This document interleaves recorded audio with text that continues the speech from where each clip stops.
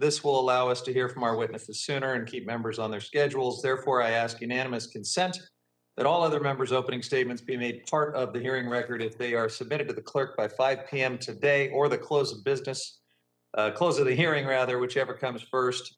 And hearing no objection, that is so ordered. Without objection, the chair may declare a recess subject to the call of the chair.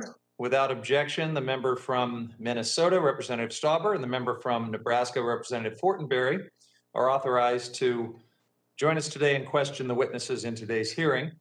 As described in the notice, statements, documents, or motions must be submitted to the electronic repository at the following email address, hnrcdocs at house, oh, sorry, at mail.house.gov.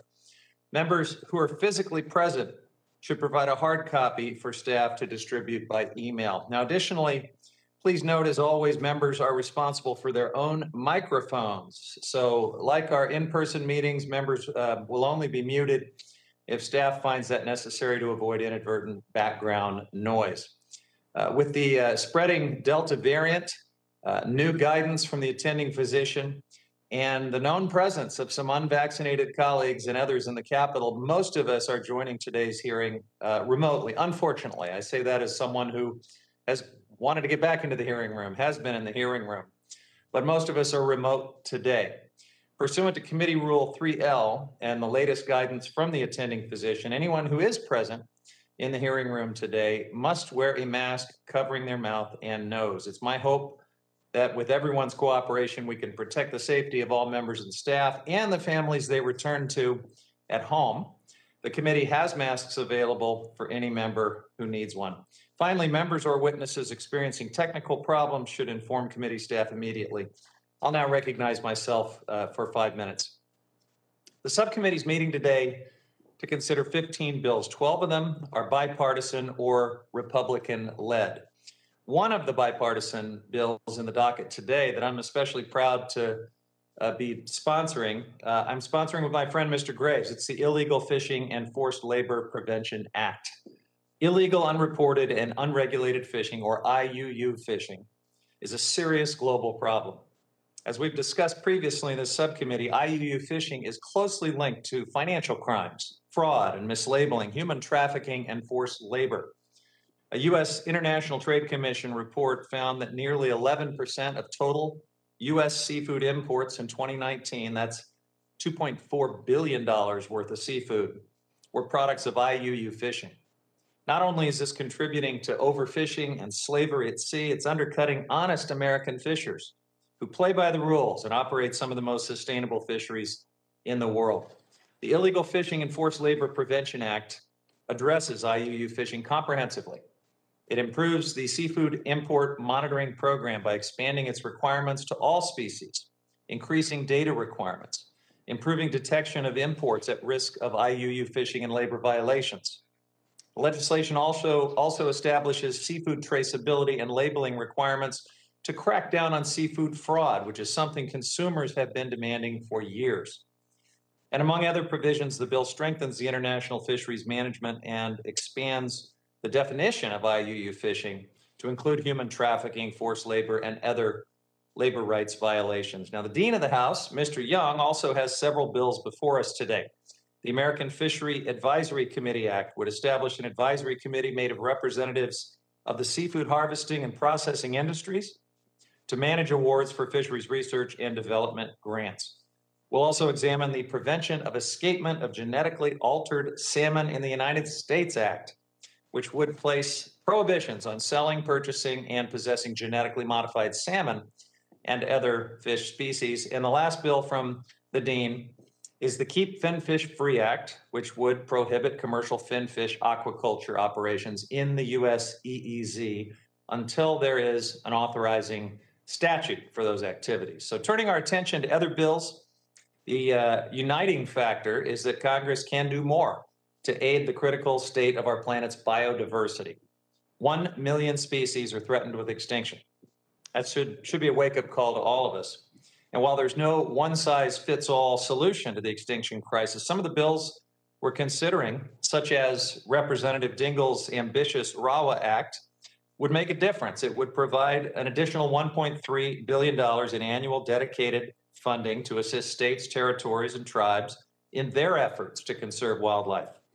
Representative Cartwright's SAFE Act also takes aim at the climate and biodiversity crisis by codifying previous congressional directives to strategically improve the resilience of fish, wildlife, and plants in the face of climate change.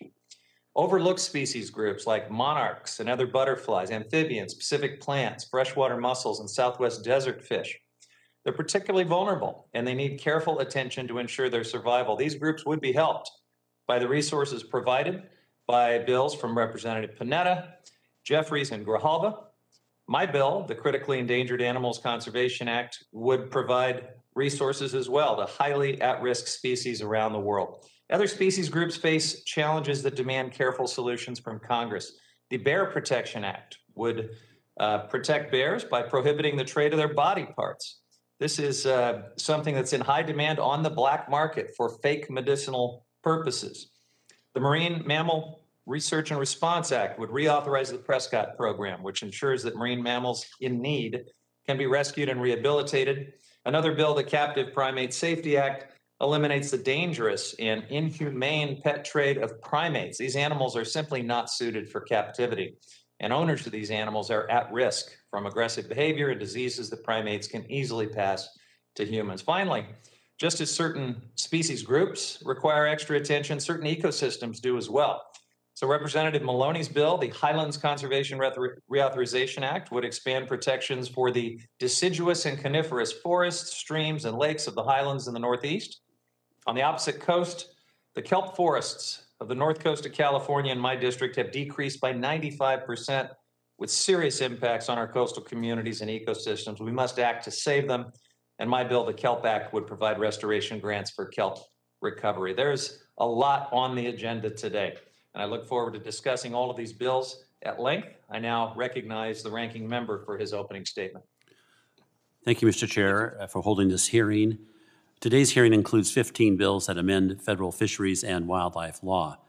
The bills range in topics from aquaculture in federal offshore waters to conservation funding for state and wildlife agencies to establishing endangered species programs. I'd like to focus uh, many of my remarks on the Endangered Species Act since it's a law that is having an unbelievably huge and negative impact on my congressional district, and since it plays a large part in the bills we're going to discuss today. As many of you know, the Federal Klamath Irrigation Project, located in drought-stricken Oregon, has for the first time ever received a zero uh, percent allocation of stored water. And the drought has a lot to do with that. But there are other factors, one of which is the water required by two endangered fish species in the upper Klamath Lake, which lake, as a result of the government's decision to give no water to the nearby community, is almost completely full. Right now, while the adjacent farms and neighborhoods and almost 200,000 acres of prime farmland and other areas downstream are left with very little or no water. The people in the communities around the Klamath Lake believe, as their fields turn to dust and their homes' wells dry up, that the Biden administration looked at the ESA and then made a choice between water for fish on the one hand or water for people, and determined that the law, as they chose to interpret it, requires that all of the water go to the fish leaving communities and farms and homes and people to the ravages of the drought. Meanwhile, the two agencies charged with protecting the fish, yes, two separate agencies, fight over who gets the water taken from the farmers and the communities. Should it go to the lake fish or should it go to the downstream salmon? U.S. Fish and Wildlife and the Salmon's Corner, National Marine Fisheries, and the Lake, lake Fish Corner, no agencies in the communities uh, where homes and dry wells now are found are in the farmer's corner it's clear that a single species management isn't working for species or people. And this is what prompted the bipartisan introduction of H.R. 866, a bill introduced by Mr. Calvert, Mr. Costa, and others, which sought to bring sanity to the means of how our endangered species are currently managed by too often conflicting agencies. The concept was to merge the two into one. In fact, former President Obama acknowledged the need for this in his 2011 State of the Union address. We asked to include this bipartisan bill in today's hearing along with two others. H.R. 286, sponsored by Mr. Tiffany of Wisconsin to delist the gray wolf, a species widely acknowledged to be recovered, and H.R. 1174, offered by Mr. Rosendale and others to avoid another ESA bite of the apple when it comes to federal land management plans already approved.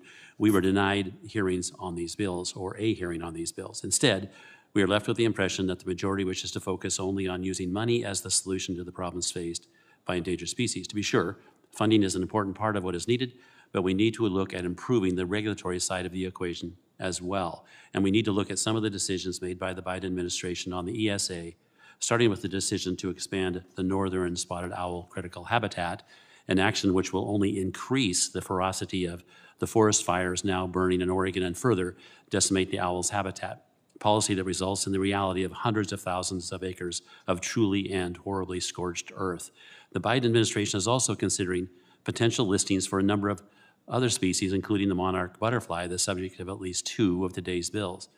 Our witness today, Mr. Justin Johns of Minnesota, will talk about proactive and effective voluntary work that helps endangered species and proactive work that a listing of the butterfly will only stifle. There is no doubt that as currently implemented, the Endangered Species Act often results in draconian effects, damaging to people and the very species such actions are supposed to help. Conservation and the utilization of CCAs and CCAAs are far preferable uh, to the regulation by to regulation through litigation. We need to examine and identify ways to incentivize more people to innovate and not punish them with regulatory listings that will only stifle conservation and bring ruin, such as now the case in the Klamath, to once vibrant communities. As I said, funding is a very small part of the equation. We should be looking at much more than that today. With that, uh, Mr. Chair, I welcome the members here today, and I look forward to hearing from our witnesses.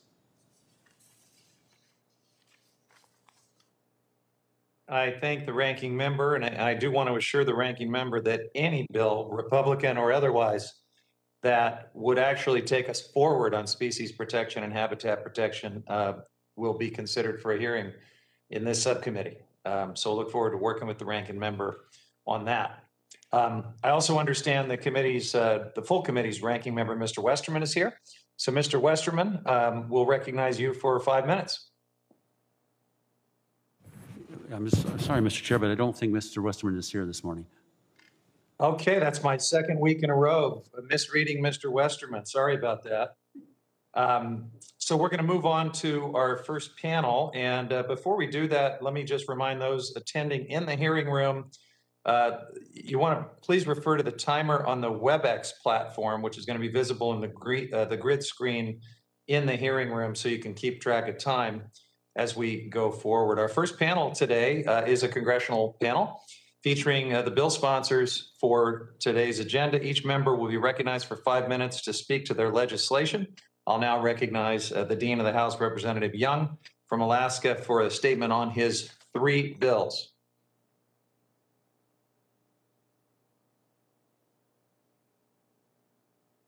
John, are you there?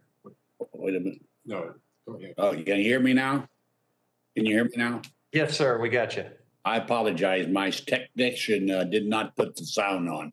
So I just want to ask you to, whoever- whoever's running the shop, uh, when the, my time is up, let me know because I don't see it on my screen. I'm inclined, inclined to talk a little down. So, No, that's un- unheard of. We'll let you know. all right. Thank you, Mr. Chairman. Thanks for these hearings. Uh, I've reviewed most of these bills. I would say most of them are, will have my support. I am concerned, as the ranking member said, about some of the things that are occurring and the balance between uh, water and fish and, and farmers and people. But uh, I want to thank you for listening to my three bills. Uh, they're very simple bills, have bipartisan support. Your sponsors of one of them. Um, the one, of course, is the prevention and escapement of genetically altered salmon. Uh, one of our greatest assets is in Alaska and across this country is wild salmon. And I talked to the Commerce Committee, uh, excuse me, Department. No, uh, they want to put uh, fisheries in uh, what I call hatchery fisheries in our area. Uh, we don't want that. Uh, we want our wild fish to be wild, and, and I think it gives a higher value to it. And we'll take care of the fish, and I'm sure we're confident this bill helps do that. And of course, we have the uh, fin uh, keep the fin fish free act. The act is supported bipartisanly, should work very well. And then we have, of course, the last one. I believe the last one is the. Um, I've got to look at my notes here. Uh, the uh, commission, uh, the group around that, that debates the the concept of recognizing the value of fisheries and everybody involved, from the catchers to the processors to the consumer and all down the line, genetically identified. One of the biggest dangers we have in all industry is not only the effect upon the species is the interference, as you mentioned before, of um, outside fisheries illegally uh, flooding our markets, about $2 billion worth. So uh, these are three simple bills. I hope the, the uh, people of the committee will, uh, along with yourself, will support and move these legislative packages uh, forth to the full House and get things done.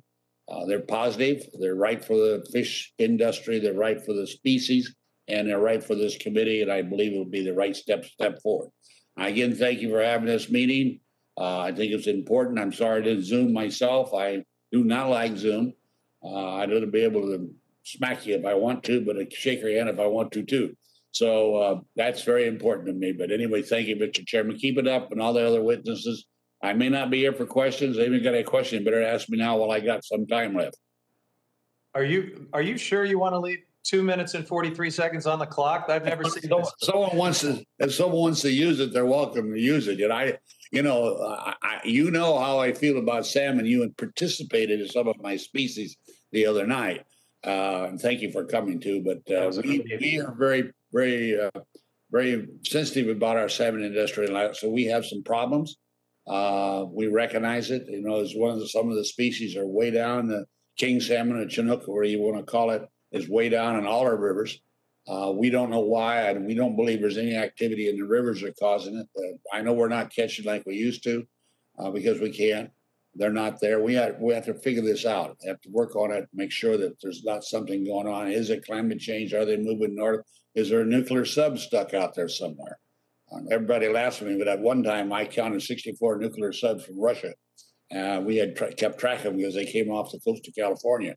And I don't know. That's what we don't know. And I think we got to put a little more research into it. NOAA should be more active in the ocean to make sure that the, the pollution that's occurring out there is that a cause of it? Is the predators?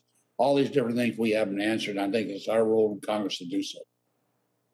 Well, see, I knew if we drew you out a little, we'd get something interesting and colorful. So thank you for that, Don, and uh, for your leadership on these bills. Um, the chair will now recognize Representative Dingell for her statement on Recovering America's Wildlife Act. Thank you, Chairman Huffman and Ranking Member Bentz, for convening today's hearing uh, and putting the Recovering America's Wildlife Act on the agenda for discussion. And it's always an honor to follow my colleague Don Young, who, um, uh, you know what? He reminds me of John Dingell more than any of you can ever know. So I'll leave it at that. Um, I'm proud to talk about the Recovering America's Wildlife Act bipartisan legislation, which I introduced with my colleague, Congressman Jeff Fortenberry, to address our nation's biodiversity crisis. And it is a crisis, my friends.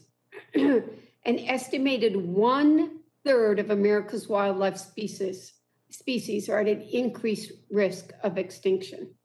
We're seeing the impact of this on bird populations, which have declined almost 30% in the United States and Canada since 1970. In Michigan and throughout this country, over 40% of freshwater fish are at risk.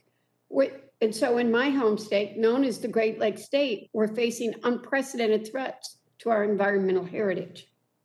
The cost of inaction is immense. The longer we wait to address these issues, the more resources we will ultimately need to safeguard our nation's wildlife. Bold action is needed, and the Recovering America's Wildlife Act meets the moment by funding proactive on the ground conservation efforts to meet the scale of the challenge we face. The legislation provides approximately $1.4 billion in dedicated annual funding to the states, territories, and Native American tribes for proactive conservation efforts for the approximately 12,000 species of wildlife and plants that have been identified under federally approved state wildlife action plans. This historic investment in our nation's wildlife will pay significant dividends. It will allow states to take proactive action that will prevent at risk species from becoming endangered. And it gives states the power. That's what this does. It empowers the states. It'll grow our $887 billion, billion dollar outdoor economy that supports 7.6 million jobs and is fueled by more than 100 and American hunters, anglers, birders, hikers, and other wildlife enthusiasts. It also supports targeted efforts for our nation's most at risk species and includes innovative conservation measures to safeguard America's wildlife. And what's really remarkable is that the Recovering America's Wildlife Act has the support of this very broad spectrum of organizations, leading conservation organizations, sportsmen's groups, environmental advocates, and businesses for good reason. It utilized proven, proven funding mechanism, mechanisms, boldly addresses pressing conservation needs, and prevents the need for more costly interventions in the future. We passed this bill in the Natural Resources Committee last Congress by a vote of 26 to 6. The majority of Democrats and Republicans voted for it. The updated version of the Recovering America's Wildlife Act includes improvements, including made in the last Congress's manager's amendment, which further strengthens the provisions in this bill. We have a conservation, economic, and moral rationale to, to act in order to protect and recover America's wildlife for future generations.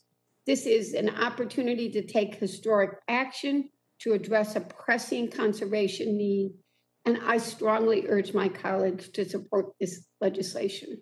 Thank you, Mr. Chairman, and I yield back the remainder of my time. I thank the gentlelady from Michigan uh, and want to commend you, uh, Representative Dingell, for your dedication and hard work over several years on this really important legislation. We'll now recognize uh, my colleague, Representative Panetta from uh, the Central Coast of California, uh, maybe the second or third most beautiful congressional district in America.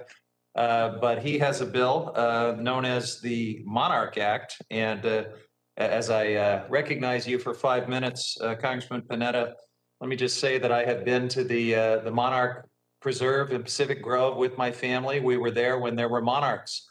In fact, uh, not too long ago, I think 47,000 monarchs were counted at that preserve.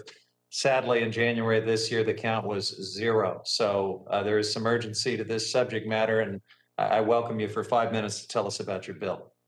Thank you. Thank you, Chairman. I appreciate this opportunity, and thank you for highlighting that very important st uh, statistic, uh, and is basically why I'm here in front of you today. Also, I appreciate, uh, Chairman, uh, you acknowledging that your district is the second or third most beautiful behind the Central Coast of California, uh, the 20th Congressional District. So I appreciate you saying that as well. I uh, also want to acknowledge Ranking Member Bentz and all of the members of the subcommittee. Thank you. Thank you again for holding this very important hearing today and for giving me this opportunity to testify in support of the bipartisan Monarch Action Recovery and Conservation of Habitat Act. Yes, otherwise known as a perfect acronym, the Monarch Act for short.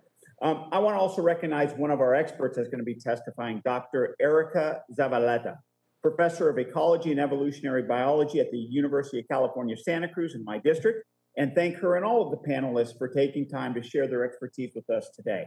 As you heard, uh, I represent the Central Coast of California. It's a place where I grew up. It's a place where I have always called home. And I can tell you as a kid, we knew that one of the symbols of our home, of who we are, was the Western monarch butterfly. In fact, the town of Pacific Grove is officially known as Butterfly City, USA. Also in my district, there are four of the top 10 high priority sites where Western monarch butterflies overwinter during their incredible 3,000 mile annual migration. Now, we, recently, just as a chairman, I went to two of those but, uh, monarch butterfly sanctuaries in PG, Pacific Grove, and Santa Cruz, places that I visited as a kid. And let me tell you, back then, you would go there and you would feel like you were swimming in tens of thousands of monarch butterflies that were all around you. But on the recent visits that I did, I saw at the most maybe five monarch butterflies. That experience is reflective of a larger disturbing trend. According to official studies from the field, fewer than 2,000 monarch butterflies return to their wintering grounds along the West Coast compared to just 20 years ago when millions returned every winter. Those numbers reflect a staggering reality that the Western monarch butterfly population has declined by more than 99% since the 1980s. And that number demonstrates that this population is now officially at imminent risk of extinction. And yes, similar to the other effects of climate change that we're experiencing, we don't act now, it will be too late. Not just for our Western monarchs, but it will affect our food supply.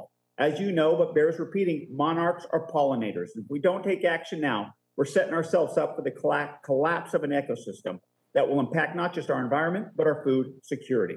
I believe that we can reverse course on this decline, save the Western monarch butterfly, but also ensure its continued important role in our ecosystems, our history, and our culture. That's why I introduced the Monarch Act, legislation that would address the recovery efforts of this species by creating a Western monarch butterfly rescue fund, a fund that would direct key federal resources to the National Fish and Wildlife Foundation and authorize 125 million for critical activities to revive Western monarch habitats like planting native milkweed and nectar species. I also want to take this time, Mr. Chairman, to take this opportunity to, uh, to call on Secretary Haaland and the Department of Interior to use the emergency authority under the Endangered Species Act to list the monarch butterfly to open up additional necessary resources. I do believe that it's that type of emergency protection that is absolutely necessary so that the Western monarchs have a chance to survive this summer and start to rebuild its population. I believe that we must pursue every action available to us, including actions made possible by an ESA listing and the actions outlined in my Monarch Act.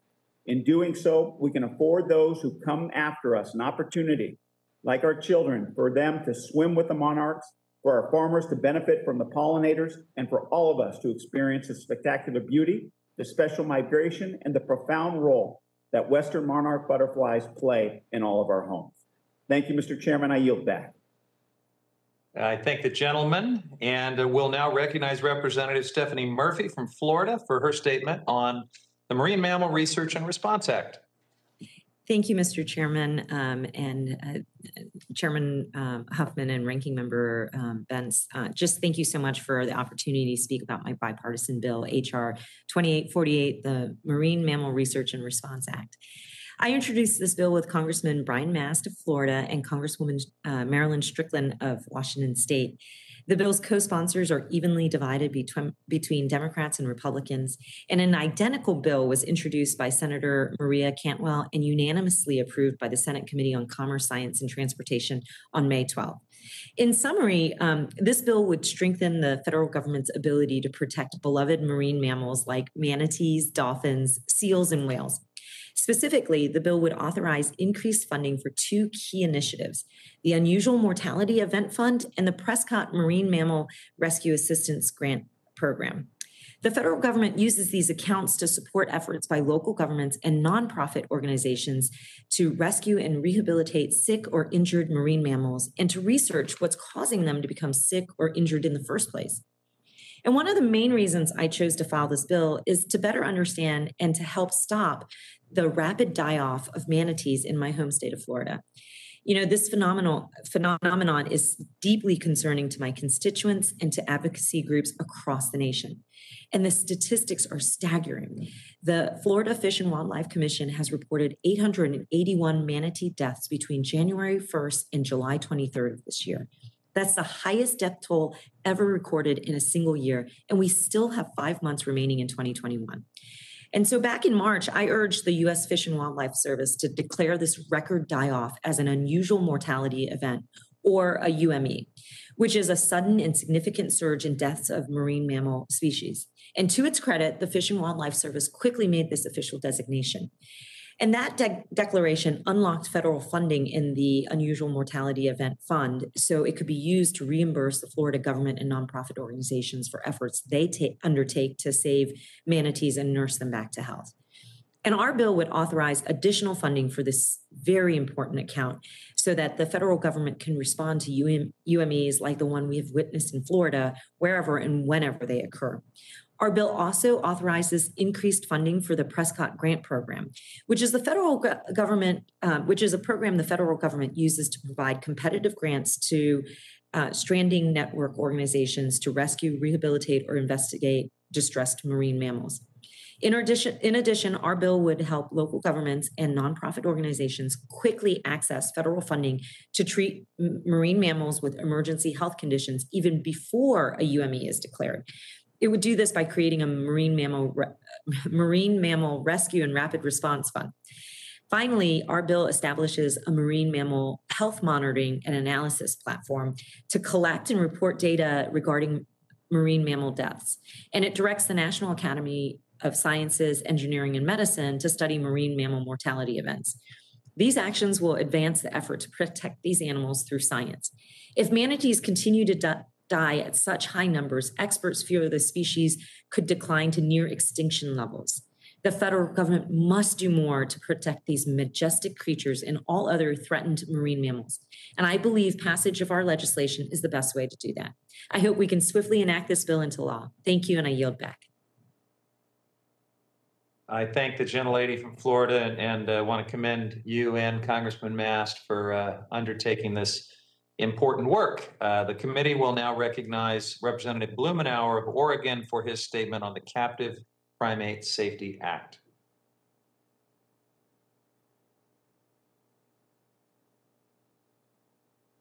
Thank you. You, there you go. Okay, we can hear you just fine.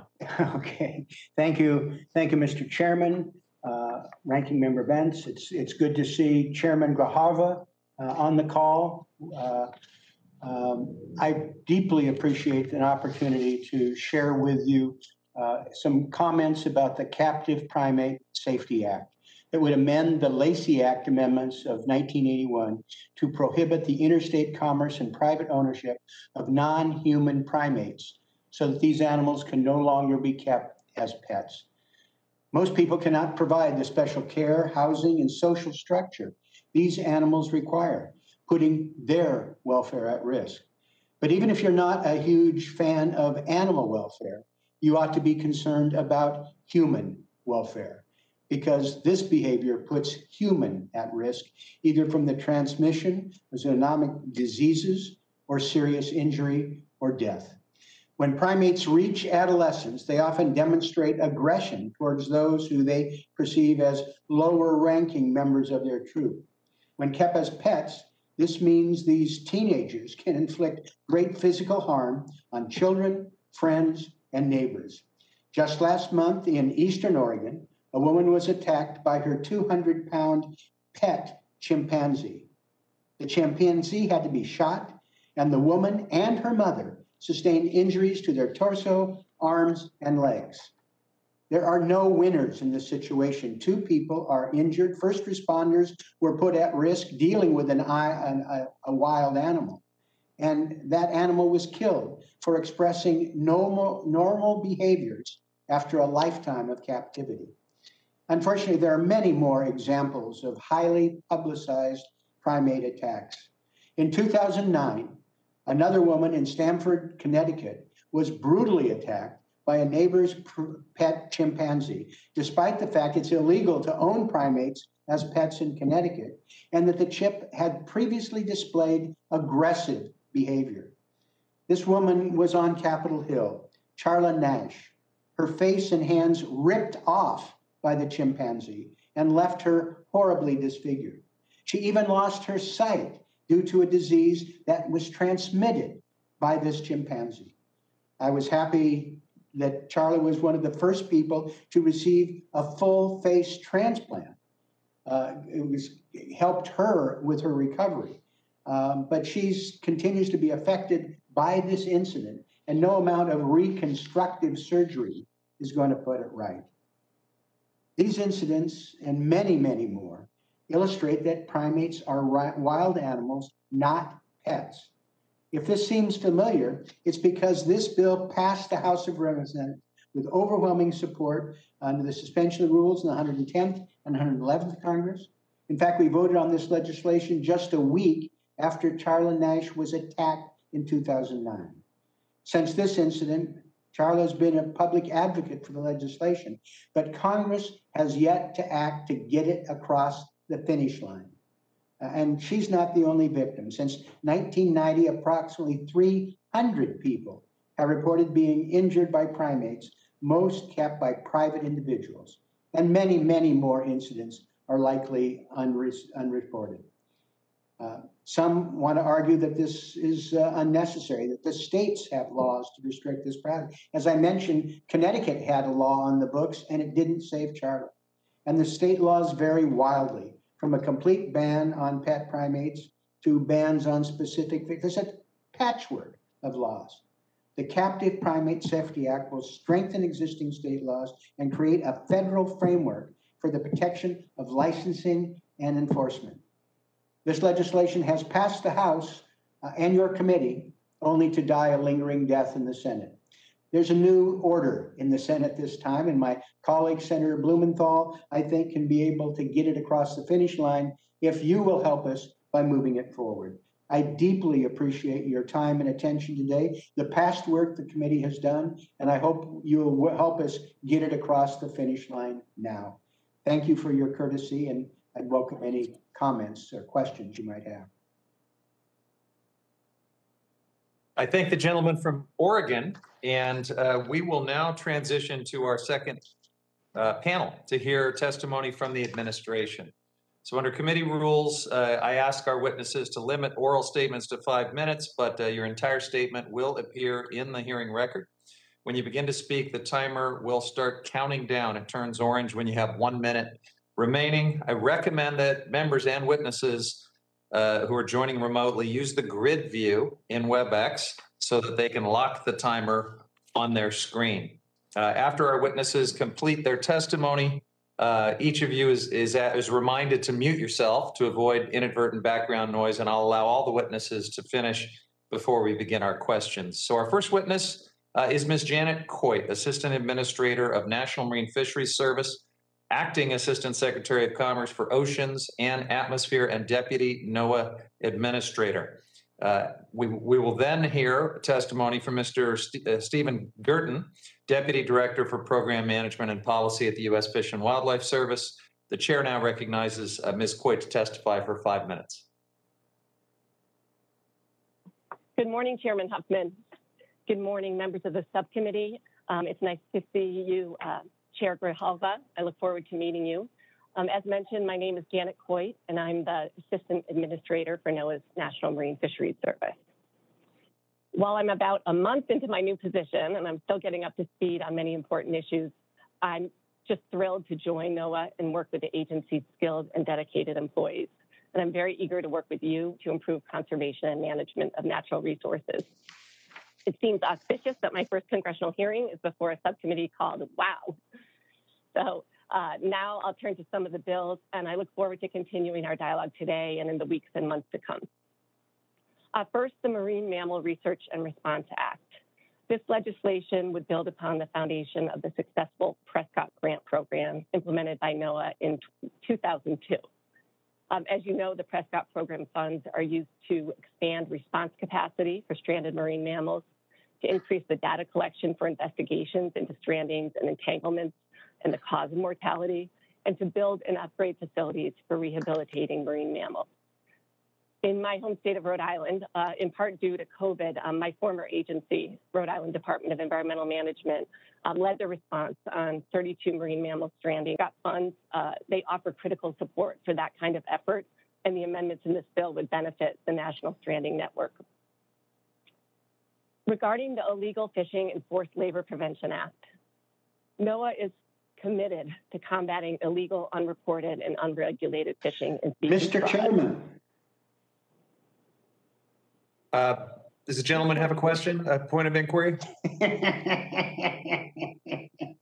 nice try, friend. How, uh, Earl, you are you need to mute. And uh, Ms. Coit, I apologize for that interruption, and we'll we'll throw a little time back on the clock and let you continue. Sorry about that. Thank you, Mr. Chairman.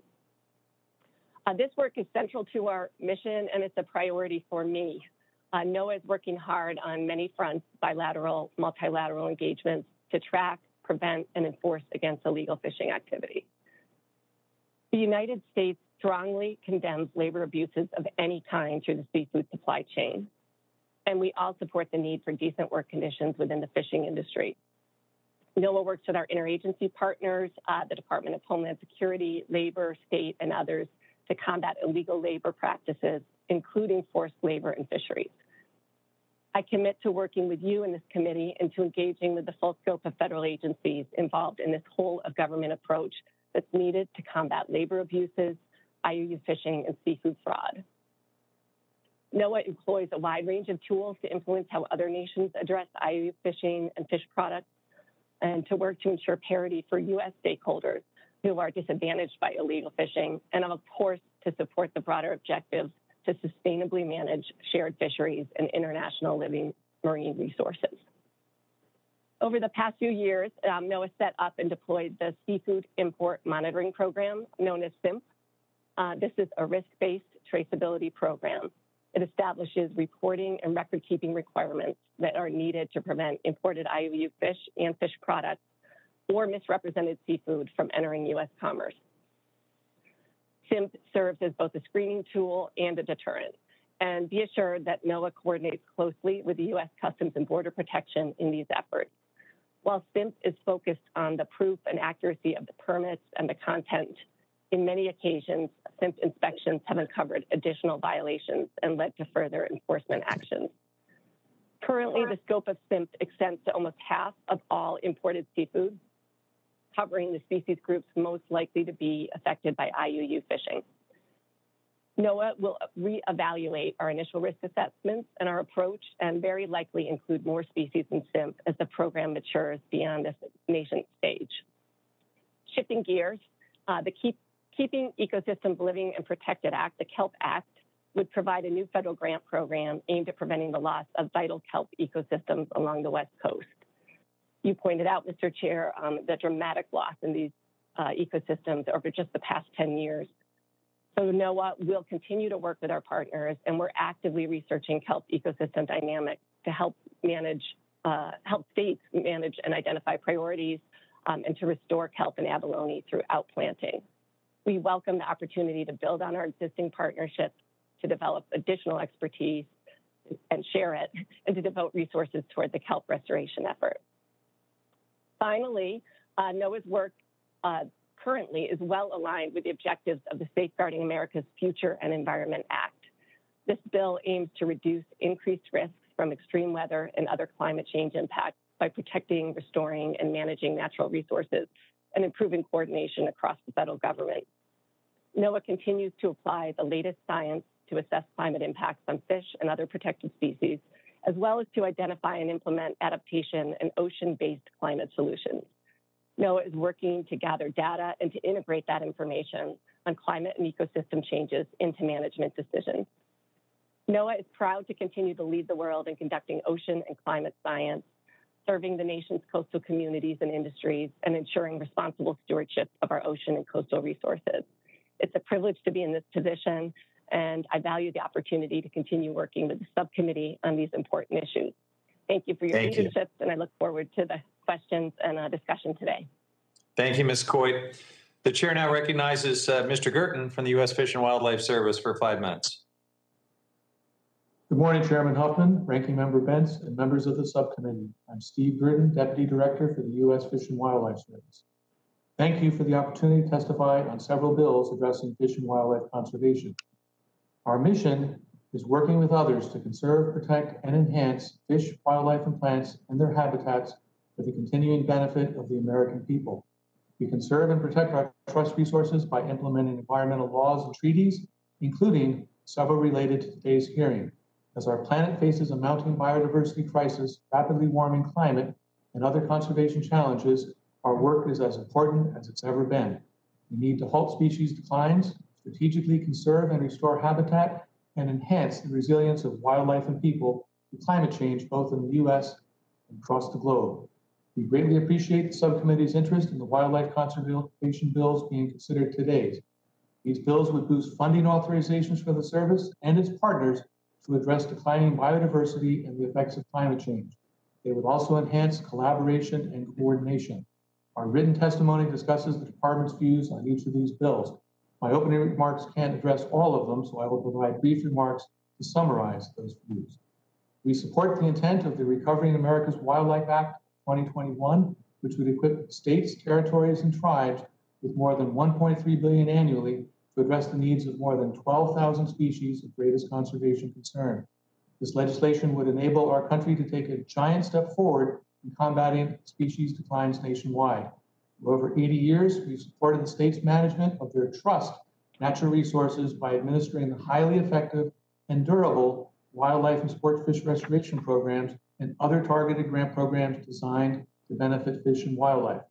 Building on this work, the Recovering America's Wildlife Act will provide new funding to address a backlog of conservation work identified in state wildlife action plans.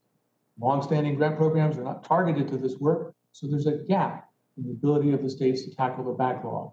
The Recovering America's Wildlife Act presents a unique and timely opportunity to equip our state partners to holistically conserve their natural resources.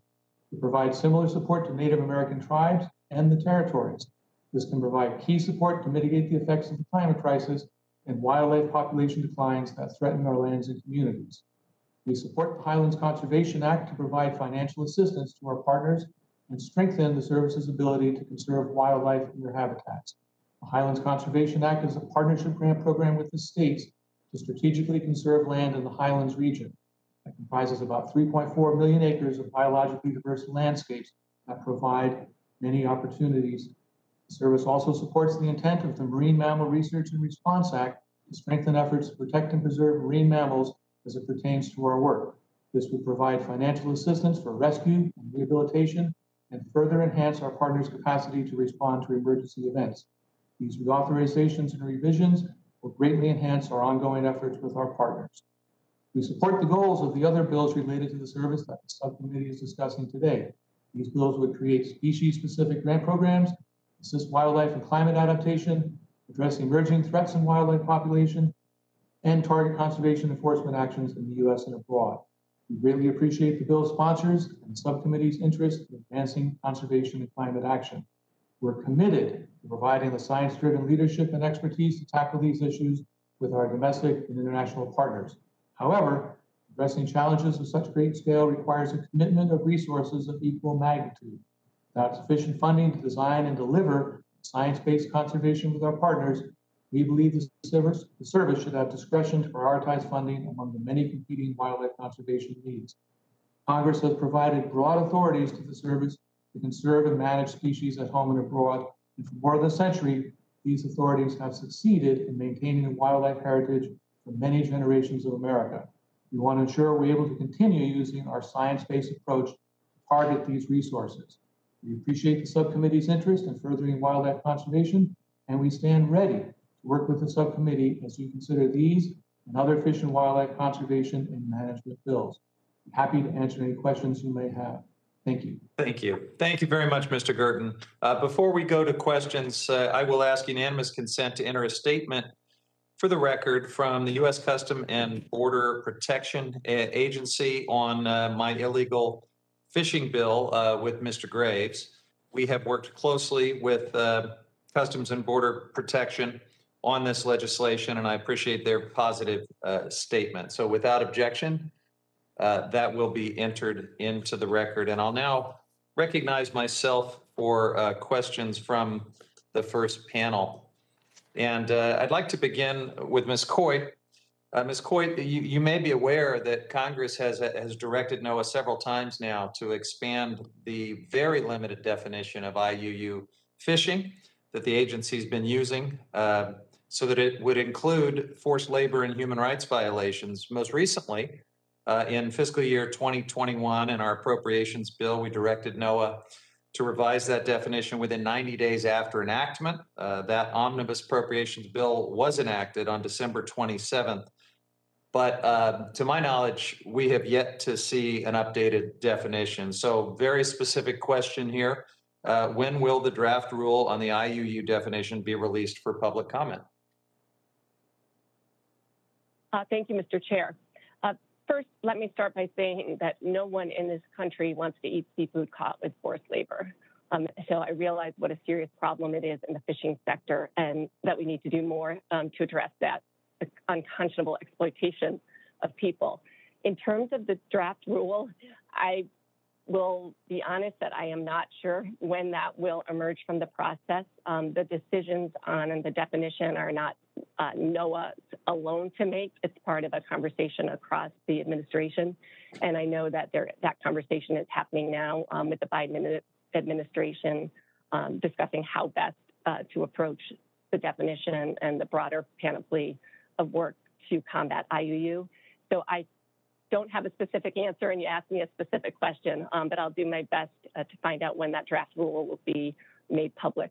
And Well, thank, thank you, Ms. Coit. And, and look, I, I do appreciate the general supportive statements that have been offered uh, on this issue, but uh, there's nothing like actually taking action, and Congress has directed you to do that. So I think there really is an obligation on the administration. I know you're new to the position, and there's always challenges with the handoff from one administration to the other, but we need to see that new definition.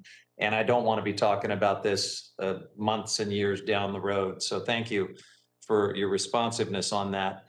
Uh, The requirement currently uh, in the law for the SIMP program uh, for traceability and reporting applies to only about 40% of seafood imports. And uh, I mentioned an international report recently that found we imported about $2.4 billion worth of seafood that comes straight out of this terrible IUU fishing uh, industry. Um, this is despite the existence of our SIMP program that's supposed to address this problem. So we have work to do. Uh, the Joint U.S. Government Tax Task Force on Combating IUU Fishing and Seafood Fraud uh, under the Obama administration noted that it's the goal of the U.S. government to eventually expand the program to all seafood at first point of sale or import, and that the species that were listed back in 2016 are just the first step in a comprehensive program of reporting on all seafood imports. So again, we need to expand SIMP to cover all seafood imports. Our legislation proposes that we do that. I, I want to ask another very specific question. Will NOAA commit to expanding the application of SIMP to all seafood and making this commitment within the first year uh, of your tenure? Thank you, Mr. Chairman. As you note, it's uh, I'm a few weeks into this position, and um, the NOAA is reevaluating the species that are currently covered, which make up about half of all the imported uh, seafood species into the U.S. Um, you've got to walk before you can run, and we've just stood up this program in the last few years, and um, I think um, are very proud of the work we've done to date. Uh, the review, the periodic reviews will definitely increase um, the number of species on that list. And I know the goal of the report that you're referencing is to have all species covered under SIMP. Um, so that's something I will uh, discuss further with folks here at Commerce and across the administration. I appreciate that, but I, I do want to urge you and the administration to make that commitment. We, we need to see that commitment. Uh, this problem has been with us for far too long, and it's time for action. So, uh, last question for me, uh, a little bit of a softball. Can you uh, explain the co-benefits of restoring kelp forest ecosystems? It's more than just kelp, isn't it? Yes, uh, thank you. Um, really eager to work with you on continuing to restore these important ecosystems. They're, so they're important, of course, for a whole uh, variety of species that count on kelp uh, forests for refuge um, and also for food. So there's a wide, it's the whole uh, ecosystem, invertebrates, fish, marine mammals, and they're also incredibly important for uh, the resilience of your coastlines. Um, they buffer the wave action and help protect coastal communities. Uh, so both for ecological reasons and economical reasons, um, these ecosystems are critical. Thank you very much, Ms. Coit. Uh, the chair now recognizes Ranking Member Bentz for five minutes. Thank you, Mr. Chair, and uh, uh, thank you to the two witnesses. Uh, First of all, I just want to comment uh, and thank uh, Ms. Ms. Coit for the conversation we enjoyed yesterday in, in discussing various issues that I think are going to come before her in the, in the, um, in her future, in, in her new position. And of course, uh, I'm looking forward to further discussing the uh, focus on more balance when it comes to implementing the ESA, and I know she's an expert in that space. Uh, But uh, in term, in terms of its application in drought-stricken areas such as, such as Oregon. And of course, uh, uh, and also a little more focus and perhaps um, more detail on the causal relationships between uh, activities inland and those in the ocean. So I'm looking forward to those further discussions. Now, my questions are actually to Mr. Guertin, and they have to do with the monarch butterfly CCAA. And my question, Mr. Guertin, is whether or not you can commit your service to preserving and perhaps growing the monarch butterfly CCAA. Thank you for your question, Mr. Uh, The monarch butterfly is an extremely important species for the service and states and uh, all of our conservation partners. As you know, uh, we have proposed it uh, for listing, but it has been precluded at this time. We're continuing to work with the states, landowners, and we did in fact stand up a CCAA uh, last year, particularly with some of our energy sector partners. Uh, We're very interested in exploring how we can make that CCA more stronger, more robust, and how it can contribute to all of our collective interest in conserving the monarch butterfly. You know, I'm sorry, uh, uh, sadly, your, your testimony is a little, a little um, mooshed out, but I think you said that you were, you were going to be supporting the Monarch Butterfly CCAA. Is that what I heard? Yes, sir. Can you hear me better now? Yes. Sorry about that. So the, the answer then is you, you will be committing, or the service, the service will commit to preserving and growing that CCAA. The reason this is so important to me personally is that I had a great deal to do with CCAAs in the uh, Oregon sage grouse uh, discussions, and many of the folks in my district ended up entering into CCAAs, uh, all to the benefit of, of the sage grouse. So I'm just, I I saw, I see them working in that uh, space, and I'm just uh, anxious to hear that, that the uh, service will be uh, doing its best uh, to help use that device, which I believe is a very, very good one, very effective one in, in trying to recover the monarch butterfly, something we all, all uh, support.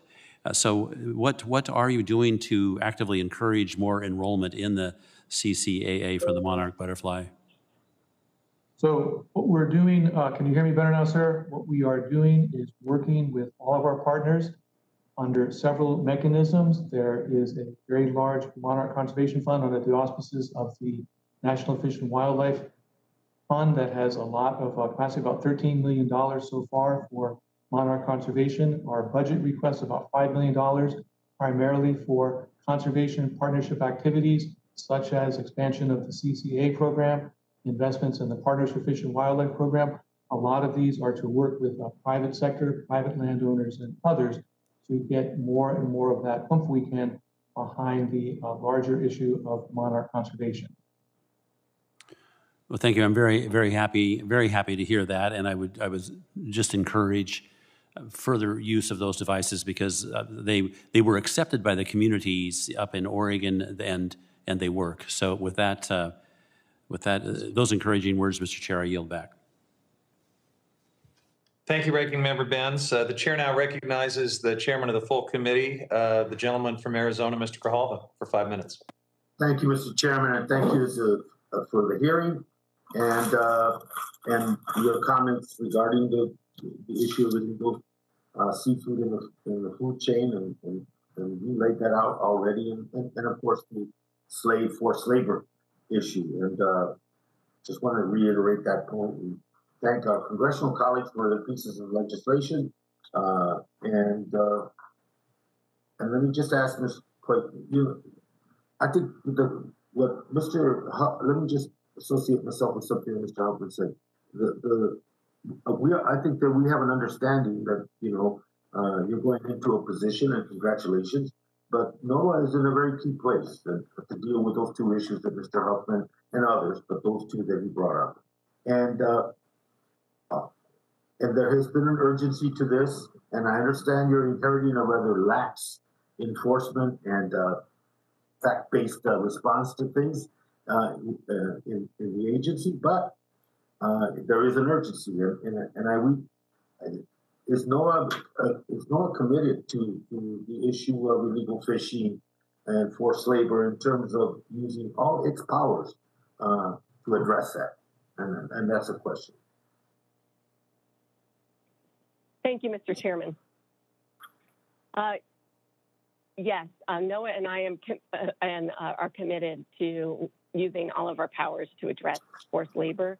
As you know, under the Maritime Safe Act, there is an interagency work group on IUU um, fishing and fish products, and NOAA is currently uh, one of the three co-chairs, the first lead chair on that. And um, I, I just want to say that I, I see I see I see your your your agency and where you are now as being the lead in that discussion for, for a variety of reasons. And and, uh, uh, and I think NOAA has the agencies to step up and lead that uh, because uh, uh, I, I, that's the critical point. And, and using all that power, by that I mean even identifying uh, how to stop seafood from entering the country and, and NOAA using that authority which they have to do that. Uh, that's the point I'm making. And, and, and uh, I appreciate it and I welcome and congratulations on your appointment. And, and this urgency issue is, is, is a persistent one. And, and, and uh, as Mr. Huffman said, we lip service is not going to work for with, with the committee anymore. So uh, I appreciate it. You, you inherited that lip service, and I hope you can dramatically change that quickly. Uh, Mr. Huffman, I yield back. Thank you, Mr. Chair. I appreciate your um, advice and your leadership. And I want to thank you, uh, Chairman Grijalva, and uh, I hope that our mutual feeling of exasperation and frustration is coming through loud and clear, despite whatever audio issues we might have uh, with the remote hearing. Uh, so with that, uh, the chair will recognize uh, Mr. Case for five minutes. Thank you, Mr. Chair. Uh, Ms. Coit, um, your your friends and and uh, fans um, extend all the way to Hawaii. So congratulations uh, on your on your appointment. Uh, we look forward to working with you out in the Pacific, even though you're you're more experienced with gray water than uh, blue water. But we think you'll get familiar with it. Um, I want to stay on Chair Huffman's questions because to me, IUU is absolutely critical. Um, and by the way, these are all I mean, it's really encouraging to see this this assortment of bills on a bipartisan basis. So I don't want to downplay any of the other bills, uh, many of which I've co-sponsored, but I do want to focus in particular on HR 3075 because that's kind of our IUU uh, vehicle or or opportunity to to to improve IUU. A couple of questions. Um, um, first of all, um, I believe that NOAA owes us the um, uh, report um, uh, on IUU countries um, under the um, High, High, sea drift, High Seas Drift Net Fishing Moratorium Protection Act, under which um, you are supposed to report to Congress uh, every couple of years on IUU. I think it was due in June. So, very specific question: Where is that report? Uh, thank you, and I look forward to meeting you and visiting your beautiful district. That report should be coming for, uh, forth within the next couple of weeks. Um, so it is being, it's under its final review and we should have it to you and would look forward to reviewing it specifically with this subcommittee. Okay, well, I think that report is critical. Um, and in all honesty, um, uh, fr from my perspective, um, somehow that report, in, in, my view at least, has not adequately reflected the degree of IUU throughout the country. I, I mean, throughout the world. I mean, there are numerous international reports by by NGOs and others that indicate a far greater uh, number of countries that are IUU countries than the three that have been reported. Um, you know, in, in the most recent report, uh, some reports are 50 plus countries, and I mean, anecdotally, we all know this in the Pacific. I mean, you can count, you can count up to three in two seconds uh, in the Pacific on on IUU, and then keep going for quite a while. And so somehow that report is is is missing the boat. Um, and and and you, re- you will uh, recall that uh, uh, some of the massaging that Congress did to that act um, indicated that if a country has one instance of IUU, uh, they should be going on that list. Um, and so, um, can, you assure us that um, uh, you'll take an, your own personal, um, you know, new um, new administrative perspective to it and, and ask the, the hard question, which is why aren't we adequately reflecting um, IUU on, on the prime report that we use for, for our actions uh, to take on IUU. Uh, Congressman, I assure you that uh, I will uh, take a lead role, and I believe you will find this report includes um, more countries when it comes out. And I want to uh, also mention that both my own team and your um, council chair have mentioned the illegal fishing as one of the problems we really need to tackle in the Pacific. Okay, thank you very much. Um, you talked a little bit about uh, the seafood import monitoring program, SIMP, and you you you uh, which which you know I think we all support. Um, you talked about cost benefit. uh, in terms of the uh, application of SIMP and, and basically in so many words, as I understood your testimony said, hey, you know, we can expand it, but uh, we we have a kind of a zero zero budget game that we're playing. And, and so, first of all, correct me if I'm wrong, but second, I mean, how can we resource you more uh, so that you actually are able to? Um, are there are there statutory or regulatory efficiencies you need to pursue? Are there are there changes that we can help you with that would somehow uh, give you a far uh, greater reach off of, of that program because that that actually allows you to follow up on the IUU um, identified. Uh, thank you. And I know the FY22 budget increases uh, funding for NOAA in a way that would be very meaningful if that um, increase is sustained. In terms of specifics, I'd like to get back to you on uh, allocating funds to SIMP. Um, I know that it was initially a risk-based program, and we picked what we thought were the based on criteria and a review and transparency, but you know what were the most effective places to focus but are definitely reviewing that now and will periodically to expand. And I and I um, know expanding a program usually comes with additional resources or reprioritization. But in order to give you a specific answer, I'd like to get back to you. Okay, and because my time has expired, I'll just give this last one as a comment, and that is um, that the Food and Drug Administration, the FDA, just published a draft food traceability rule, um, which relates to uh, uh, illegal uh, food in our country, and um, to their credit, included seafood. Uh, we are we are um, communicating with FDA on expanding uh, their their seafood range, but I would encourage you, if you're not already, to coordinate with the FDA um, on tracing um, IUU once it gets into our country. Thank you. Thank the gentleman from Hawaii, and the chair now recognizes uh, Mr. Cohen from Tennessee for five minutes. Thank you, Mr. Chair. Uh, I'm here and I appreciate your holding this hearing and your uh, steadfastness on all these issues that are such importance to us. Uh, Mrs. Coit, I'd like to ask you a question.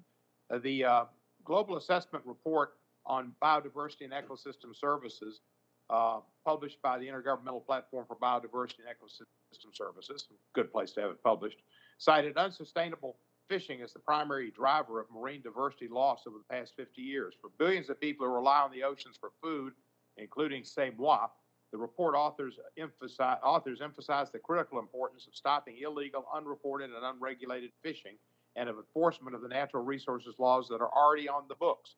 The High Seas Drift Net Fishing Moratorium Protection Act better known as HSDFMMPA, huh, right, is one such law. For example, in 2019, despite evidence to support identification of over 50 nations and regions engaged in illegal fishing, NF, NMFS identified only three nations that report to Congress. So, Ms. Coit, I ask you, what barriers prevent uh, NF, NMFS from using the High Seas Drift Net Act to its fullest extent to stop illegal, unreported fishing and when can the public expect to see the 2021 report to Congress? Uh, thank you, Congressman. So the report to Congress will be forthcoming very soon. It, it, we're almost at August. I believe you will see it in August, um, and that um, we will review it with you, and it will, uh, I believe, meet uh, some of the or address some of the criticisms that several of you have made. Um, and that report will identify you know, nations that have been engaging in illegal fishing practices. And um, similar to the European system, um, Mr. Chair, that you've discussed, it, it, gives a sort of a yellow card, an opportunity for people to remedy or address deficiencies, and then we're required to make a um, certification on whether they have addressed those. And let me say that um, I'm so proud of the most sustainably harvested fisheries in the world, which are U.S. fisheries, and worked um, very hard on fisheries issues in my previous job in Rhode Island. And I understand not just the um, exploitation and um, impacts on the environment, but also how that undermines our own uh, fishing industry. And I look forward to working really hard on these issues with you. It will be a focus of mine. I will be personally involved on the interagency task force and working with you. Well, thank you. I'm going to hold you responsible if I go to my store and sea bass or, or swordfish uh, or salmon are not there. And, and white salmon, which is the, the province of uh, Mr. Young, that should be there too. I'd like to ask Mr. Guertin a question. Uh, and I turn our focus to the Captive Primate Safety Act.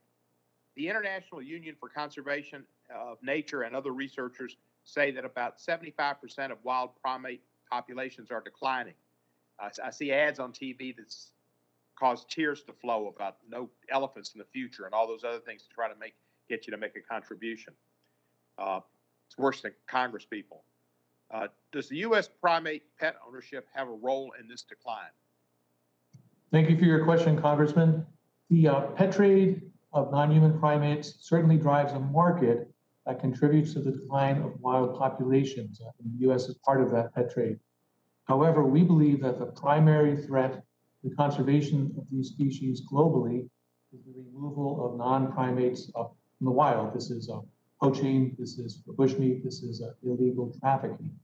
And so for this reason, uh, we focus our law enforcement efforts on the criminal networks and smugglers that traffic these poached animals. Um, we also work very closely with the USDA, who do a lot to enforce our animal welfare laws here in the US. Do you think it'd be a good idea to ban people, trophy hunters, men that need their testosterone uh, um, proven to themselves, that go out and shoot and kill animals in Africa and then bring back the heads of the tusks as, as things to put on their walls and prove their uh, their um, their their lot their manlyhood to ban them from bringing those type items back into this country? Thank you for your uh, question, Congressman. There's a, a, lot of work going on right now to evaluate the administration's uh, position on the importation of trophy imports. As an agency, we certainly support uh, legal hunting regulations and legal conservation actions. And so uh, we'll be uh, glad to provide you and your office uh, updates on behalf of the administration on where the administration will come out on the importation of trophy animals and parts from overseas. The pet primate trade is regulated at a state level, causing a patchwork of systems with no restrictions at full bans on private pet ownership. Why, can you explain, Mr. Guertin, why this might not go far enough and why a federal solution is needed? And the gentleman's time has expired, but Mr. Guertin, if you want to just in a couple seconds. For the, for the record, sir, or, or do you want me to respond? Uh, very quickly, if you have a quick response. Sure. Uh, we try to use our statutes to leverage them against the uh, scale, the, the, big operators, and, and not a piecemeal approach. Uh, we closely work with the states. We'd be glad to follow up with your office and offer a briefing and provide more details for the record, certainly. Thank All you, right. sir, and I appreciate the indulgence Thank of the you, chairman. He always does good things and gets across we, in Paris in a timely fashion. We, we try our best, and I, I enjoyed your uh, delving into the testosterone compensation and, and, other interesting matters in your questions. So thank you. Um, our first witness in the next, uh, let, let, me thank the administration panel. I'm sorry? Soto's next. Oh, I apologize. Mr. Soto, I almost overlooked you, our great colleague from Florida, uh, but you're recognized for five minutes, sir. So the second panel, please don't, don't leave us quite yet. Thanks, Chairman. Appreciate the opportunity you know, with floods, droughts, heat domes, hurricanes, and increasing endangered species, uh, we see the signs all around. When you have a doctor treating a patient, they could either treat the symptoms or the underlying condition. And I heard earlier today this false framing of it's the fish versus the farmers, which, by the way, we're talking about fishermen and fisherwomen who fish these fish for a livelihood. So it's not fish versus people. It's one industry to help our food supply versus another. And there are people involved in all of this. Or we could treat the underlying condition, which is climate change. And that's where we have to come together in this generational challenge. We're seeing in our own state red tide that's decimating the fisheries and supply uh, in the Gulf of Mexico and drastically hurting our tourism. You can't spend more than an hour at the beach before you start hacking because of the toxins from this. There was a, a gypsum stack called Piney Point, where over 200 million gallons of nutrient rich water was dumped into the Tampa Bay and uh, the Gulf and it has made red tide explode. That's on top of having issues related to our manatees, where we had a huge uh, uh, mortality, unusual and mortality event, as my fellow Floridian Representative Murphy had discussed. Um, so first, uh, Ms. Coit, what are we doing to help with this giant fish kill in red tide? And and I get in my preface that the state has had some issues. Um, unfortunately, the leadership there is at fault of it, and so we on the federal level li- literally need to supplement and help against a lack of leadership on the state level. Uh, what can we do to help out with red tide, our fisheries, and and help with the environment in the Gulf of Mexico right now? Uh, Thank you, Congressman, uh, for that uh, statement. You said a lot there. Um, First, Dr. Spinrad has really emphasized the whole Earth systems and the whole of NOAA approach, and the scientists at NOAA um, are the foremost experts on climate and oceans and adaptation. So working closely with you on these issues uh, is something um, that I think we're doing now and need to continue to do. Uh, I'm proud in Rhode Island of the way we were able to reduce nutrients into Narragansett Bay. And as you mentioned, the, the freshwater, salty land sea connection is a big part of what's happening in the Gulf um, with red tide. Um, specifically, um, I share your concern about the impact on the fisheries there and know that our science center down in Pascagoula is working with the, the state and state experts. I will have to get back to you in terms of being specific about what more we can do now to address what is really a, um, a one of many tragedies in the U.S. right now related to uh, global climate change. Thank you, Ms. Coit. And Mr. Guertin, we, we know we've seen the biggest unusual mortality event in years with the manatee. They were recently lowered down to threatened from endangered. Uh, why is it that they're not now reclassified as endangered again? This is a really important issue for our state. Thank you for your question, Congressman. Uh, We're currently preparing to work on a five-year status review for the manatee next year. We're certainly going to take a look at all the information and mortality event to help frame up our decision for next year. I would note for the record that the threatened uh, endangerment uh, status uh, really carries the same weight of significance and regulatory protection for the species. Uh, We're continuing to work with our partners down in the state, a lot of the NGO groups and others to proactively prepare in the eventuality we have another cold uh, winter and that we see a lot of animals overwintering in the Indian River Lagoon again. We're trying to pre-position a lot of capacity down there. And certainly some of the uh, bills uh, we're talking about today, such as the amendments to the MMPA and authorization for the new Rapid Response Fund and others, would provide a lot of uh, capacity. But that said, the service is always willing, like we did this past year, to rededicate several hundred thousand dollars of our base operations fund to pay for manatee restoration recovery efforts and give some of that capacity to the states. But uh, this is a huge issue for the service and our partners, and we're happy to keep your office informed as we work for uh, planning for the next event and as we work on the regulatory review for the species next year. Thank you, Mr. Guertin. And as the state fails in its duties, it's more incumbent upon the Biden administration to help us step up. And Chairman, just to end, uh, as we look at capping wells and fixing mines, uh, capping and fixing these gypsum stacks is also going to be an important part of building back better. And I yield back. Thank you very much, Mr. Soto. And I'll ask the, the second panel to hang in for one more uh, set of questions because the gentlelady from New Mexico is with us. Uh, the chair recognizes Ms. Stansbury for five minutes. Thank you, Mr. Chairman, and thank you to all of our panelists for being here today. I think, you know, it goes without saying that protecting our environment, our ecosystems, and our vulnerable species is vital not only to our communities, but to the well being of our planet.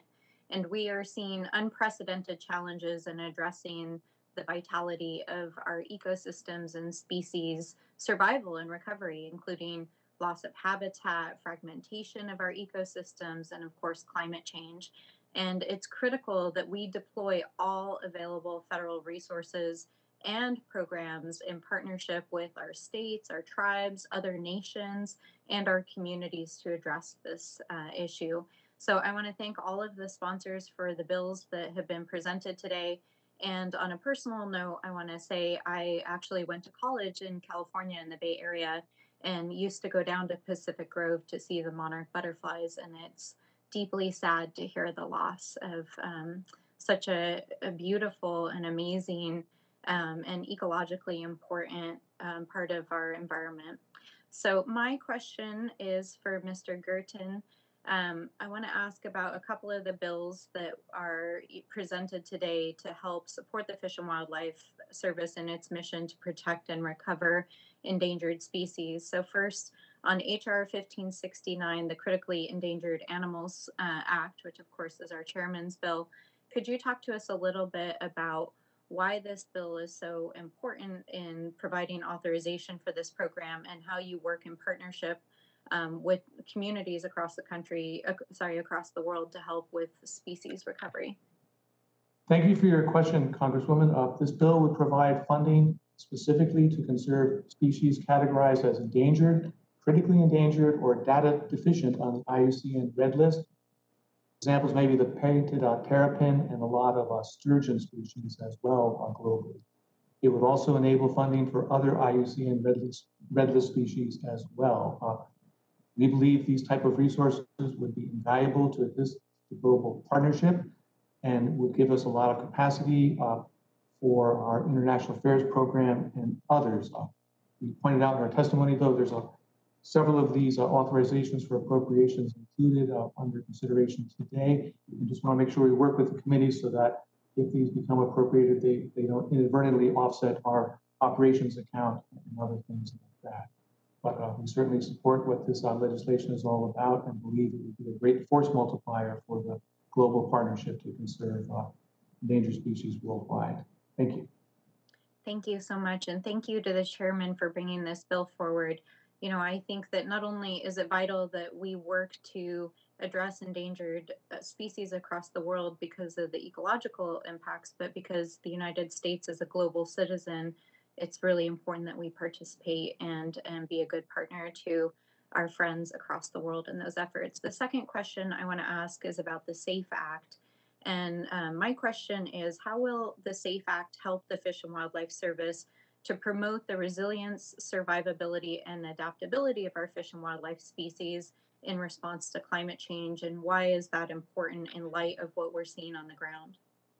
Sure. The SAFE Act would direct our agency to work with federal, state, and other uh, tribal partners to regularly update and implement National Fish, Wildlife, and Plant Adaptation Climate Strategy.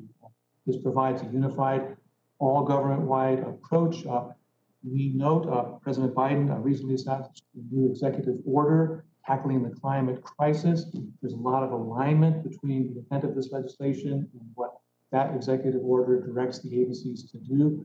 We also note for the record, uh, the bulk of our requested increase for the 22 budget was aligned as well with some of these overarching uh, policy ambitions. And so we've got increases for our coastal resiliency program, private lands work, candidate conservation, uh, refuge uh, habitat restoration, and others. But uh, this would uh, really uh, formalize a lot of the ongoing work and perhaps bring new energy to the effort. Thank you. Thank you, Mr. Guertin. And I just want to emphasize that, you know, as we're seeing the impacts of climate change across our ecosystems, it's vitally, vitally important that we ensure that the restoration work that we're doing, the ecological work to restore these ecosystems and these species takes climate change into consideration. And so I'm grateful for this bill and the work that our Fish and Wildlife Service and all of our federal agencies are doing to address this need. And with that, Mr. Chairman, I yield back. Thank you. Thank you. Thank you, Ms. Stansbury. And I want to thank all the members for their engagement and their questions. And thanks to our administration witnesses for your time. Uh, we look forward to continuing uh, to work with you. Uh, and with that, we will move on to the third panel uh, of expert witnesses. Our first witness will be Mr. Nathan Rickard. He's trade counsel for the Southern Shrimp Alliance. After that, we'll hear from Dr. Erica Zavaleta professor of ecology and evolutionary biology at the University of California, Santa Cruz. Then we'll hear from Mr. Collin O'Mara, President and Chief Executive Officer of the National Wildlife Foundation. And then finally, our last witness will be Mr. Justin Johns. And I will recognize uh, his member of Congress, Representative Stauber of Minnesota, to properly introduce him when it comes time for him to testify. Uh, So let me remind the witnesses in the upcoming panel that under our committee rules, uh, they need to limit their oral statements to five minutes, but their entire statement will appear in the hearing record. When you begin, the lights on the witness table will turn green. After four minutes, the light turns yellow and your time is expired. When the light turns red, and all of that is, is going to happen on the timer and WebEx if you're, I think all of you are joining us online, so you'll see that. And uh, I ask you to uh, wrap up your statement when you get to that red light. Uh, We will hear from the entire panel to testify before we bring it back to uh, the members for questions. So the chair now will recognize Mr. Rickard for five minutes. Good morning, uh, Chair Huffman, Ranking Member Bentz, and to all the members of the subcommittee. Thank you for inviting me to speak to you today. I am Nathan Rickard, a partner at the law firm of Picard Kenson Rowe and trade counsel to the Southern Triple Alliance. The Southern Shrimp Alliance represents members of the U.S. commercial warm water shrimp fishery operating from North Carolina to Texas.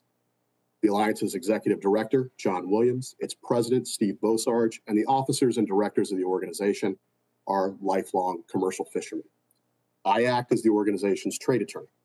In that role, I have spent the better part of 15 years validating what members of the shrimp industry have long believed to be true, namely that seafood importers operate largely outside of government regulations and that many of the, these companies will take advantage of any opportunity to increase profits. Because our work is geared towards enforcement, we tend to focus on specific illegal schemes. But two reports issued by two different federal agencies earlier this year provided a much broader sense of the prevalence of IUU seafood in our market. As such, these two reports underscore the vital importance of H.R. 3075, the Illegal Fishing and Forced Labor Prevention Act. This bipartisan legislation, introduced by Chair Huffman and Representative Graves, would provide essential enhancements to NOAA Fisheries Enforcement Authority to respond to IUU fishing. Why is H.R. 3075 necessary? $2.4 billion. That is what the U.S. International Trade Commission estimated as the total value of IUU seafood imported into the United States in 2019. $2.4 billion. The Commission estimates that one out of every $10 spent on imported seafood goes to IUU seafood. Food imports were eliminated from the U.S. The agency indicated that compliance with SIMP had deteriorated in 2020 compared to the first two years of the program. NOAA Fisheries observed that 43% of its 1,073 audits last year resulted in findings of noncompliance, and that in one out of every 25 audits conducted, the importer failed to provide any traceability documents in support of the claims made regarding the seafood's origins and import entry. The NOAA Fisheries report also described nationwide operations undercut under and local communities. Reflecting that experience, I also serve on California's Fish and Game Commission, where I my home state make decisions about biodiversity, climate adaptation, and other critical issues. In this hearing, though, I'm speaking not in my role as commissioner, but as a scientist. The first of three linked issues before us are the threats facing unique species of plants and animals around the world. The world's longest lasting legacy of environmental impact will be the species we lose to extinction, whose absence will be detectable for millions of years and which will never get back once they're gone. The quadrants of them fly by to sustain thousands of species proactively rather than waiting until we have to take extraordinary measures to claw them back from the brink of extinction. The third linked issue here is that climate change could undermine our efforts to conserve wildlife, waters, and lands if we ignore it. Since the 1950s, most of the US is hotter, losing snowpack, and experiencing more wildfire, extreme storms, floods, coastal inundation, and acidic oceans. Salmon, songbirds, oaks, and pinyon pines have recently suffered major heat, smoke, and drought related die offs. Going forward, securing forests might call for replanting burned areas with drought adapted seed from farther south, and recovering cold water fishes might call for focus on rivers that can sustain cold flows even in hotter, drier conditions. The SAFE Act lets us secure investments in wildlife, water, and lands with a coordinated adaptation strategy. A final area is the risk aquaculture can pose to ocean ecosystems and wild fisheries. The best way to protect the oceans, sustain good fisheries jobs, and put food on US plates is well managed wild fisheries. And we do this well. Today, 89% of US marine fish stocks are recovered or recovering. A cautious approach to finfish aquaculture would protect these wild fisheries and our coastal oceans from pollution habitat loss, and invasion by domesticated and genetically engineered fishes with the potential to cause widespread and lasting harm. My home state already has banned transgenic and exotic finfish aquaculture in its oceans. In summary, we have here a sweeping chance to secure critically endangered wildlife, catalyze and climate proof our wildlife stewardship efforts, and secure coastal oceans. I urge the committee to support these bills on behalf of the American people, whose varied and deep connections to wildlife, waters, and lands in the US and abroad make conservation a national priority. Thank you. Thank you very much, uh, Dr. Zavaleta. Uh, next, we'll hear from Mr. Collin O'Mara, who is the uh, President and CEO of the National Wildlife Federation. Welcome. Thank you, Chairman Huffman. It's good to, good to see you, sir, um, and Ranking Member Bentz as well, members of the subcommittee. Um, thank you for the opportunity to test, testify before you today on the on the challenges facing people and wildlife alike, and the important solutions that you're all considering today. Um, I can't, frankly, thank this committee and the subcommittee enough for their incredible work it's doing. Um, Chairman Huffman, your leadership has been spectacular. Uh, Chairman Grijalva as well. And like our, our nation's wildlife is in crisis. Um, from iconic species like the monarch butterfly and the California condor to the Oregon spotted frog and the Chinook salmon, um, one third of all of the fish, wildlife, and plant species are at heightened risk of, exp- heightened risk of extinction. Three billion fewer birds fly in North American skies than did in 1970. And the US alone, state wildlife agencies have identified more than 12,000 species of greatest conservation need. And these, these challenges are many, as Dr. Zavaleta just said eloquently.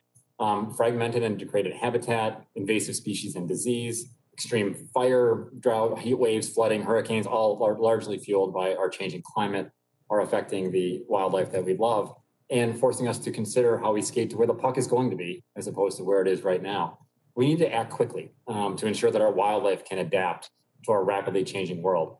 Doing nothing is, is not an option. And inaction is the ally of extinction. The most strategic action we can take, which I think you're hearing from all the panelists, is to invest in proactive, collaborative species recovery. Um, it's the ultimate ounce of prevention. It's much more cost effective to save species before they require the emergency room protections of the Endangered Species Act when they're when when then when they are on the brink of extinction. And for those species that are already endangered, we need a lot more investment. We need to do a lot more to help them recover.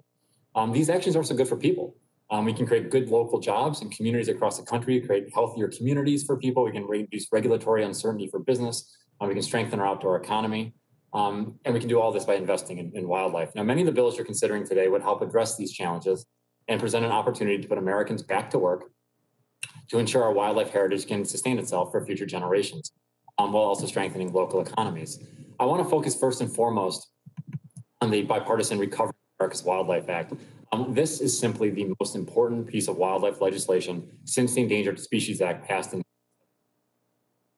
introduced by Debbie Dingell, uh, our amazing congresswoman from Michigan and our great champion, Congressman Jeff Fortenberry, a great conservationist from the state of Nebraska, uh, there's a complementary bill in the Senate led by Senator Martin Heinrich from New Mexico, and Senator Roy Blunt from Missouri. Um, this is a completely bipartisan effort. Um, and the Recovering America's Wildlife Act will reverse these trends by restoring populations of at-risk wildlife through collaborative, on-the-ground, non-regulatory conservation actions led by states, territories, and tribes. The Recovering America's Wildlife Act, it's bold and bipartisan, it's collaborative and proactive, It'll have an immediate impact all across the country without raising taxes or creating new regulations.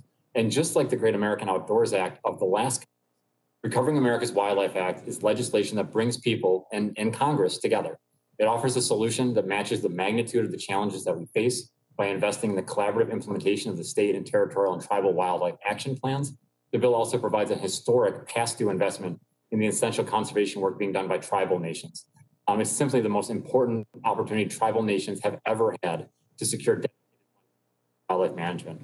So whether you experience wildlife in the rugged backcountry or just your own backyard um, or in the local park, this bill will help the species that serve them for future generations. We also need to make sure that funding is being directed towards the species that are already on the brink. Um, and many of the bills today provide incredibly strategic, targeted emergency funding to stabilize and recover species, like the monarch that are barreling towards extinction. The National Wildlife Federation looks forward to working with the committee on incredibly important bills like Congressman Monarch Act, uh, Chairman Grijalva's Extinction Prevention Act, Chairman Huffman's KELP Act, uh, Congresswoman Murphy's Marine Mammal Research and Response Act. Um, we're also eager, eager to work with the committee on Congressman Young's bills to uh, to conserve native fish populations. The International Wildlife Conservation Bill that Chairman Huffman and Congressman Jeffries are working on. Uh, Congressman Cartwright's SAFE Act and Congressman Maloney's Highlands Conservation Act. Um, it's not too late to save America's wildlife. Not a moment to waste. Compared to many of the other challenges facing Congress right now, conserving fish and wildlife is actually relatively inexpensive. If you funded all the bills before the committee today, every single one of them at the full amount all being proposed, it's less than one third, percent of the overall funding that Congress is contemplating in investing in our infrastructure and our economy in the coming months. We urge the committee to work with leadership to ensure that budget instructions and other appropriations include sufficient allocations for wildlife, and we stand ready to help. Uh, by passing the Recovering America's Wildlife Act and other pragmatic, cost effective conservation bills, we can ensure that our children and our grandchildren inherit a full symphony of birds, uh, streams that are teeming with fish, grasslands that are dotted with herds of pronghorn and mule deer. Simply put, when we save wildlife, we save ourselves. Thank you for the opportunity to be with all of you today, and I look forward to your questions. Thank you, Mr. O'Mara.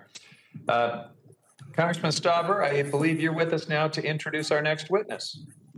Uh, thank you, Chair Huffman and Ranking Member Bentz, uh, for allowing this testimony. Today, I have the unique pleasure of introducing a witness from Minnesota's 8th Congressional District to the Water, Oceans, and Wildlife Subcommittee. Mr. Justin Johns is not only the CEO of East Central Energy, one of the largest electric cooperatives in our state, but is a community leader representing the best our great district has to offer. Justin holds a Class A Master Electrician license, a Bachelor of Science degree in Business Administration, and a Master's degree in Strategic Leadership. He is clearly well equipped to, to lead East Central and ensure excellent customer service and power to more than 63,000 cooperative members. Justin, his wife Chris, and their four children live in Pine City, Minnesota. Along with leading East Central, Justin is a captain of the Pine City Volunteer Fire Department and coaches youth hockey. Justin, thank you for traveling to DC, and I appreciate your flexibility and willingness to testify today. And Mr. Chair, I yield back. Thank you very much. Uh, Mr. Johns, welcome to the committee. You're recognized for five minutes.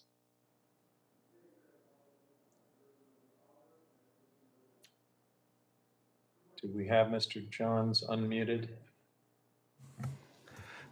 Can you hear me now? Yeah, there you go. All right. Thank you, Chairman Huffman, Representative Stauber, Ranking Member Bentz for the invitation. I appreciate the opportunity to be here. Good morning. And I also appreciate the opportunity to represent electric utilities in general and electric cooperatives in particular. Electric cooperatives have been serving their members for nearly 100 years, and we are forward thinking by our very nature. Whether it's a subject like pollinators, renewable energy, conservation, or safety, cooperatives lead with an open mind and a focus on bringing the best service possible to our members. We live in the communities we serve, and we strive for an excellent reputation not excessive margins. Our cooperative principles guide us in our decision making, and cooperative principle number seven is a commitment to community and the environment. That principle is what guides us in conversations like the one we're having today.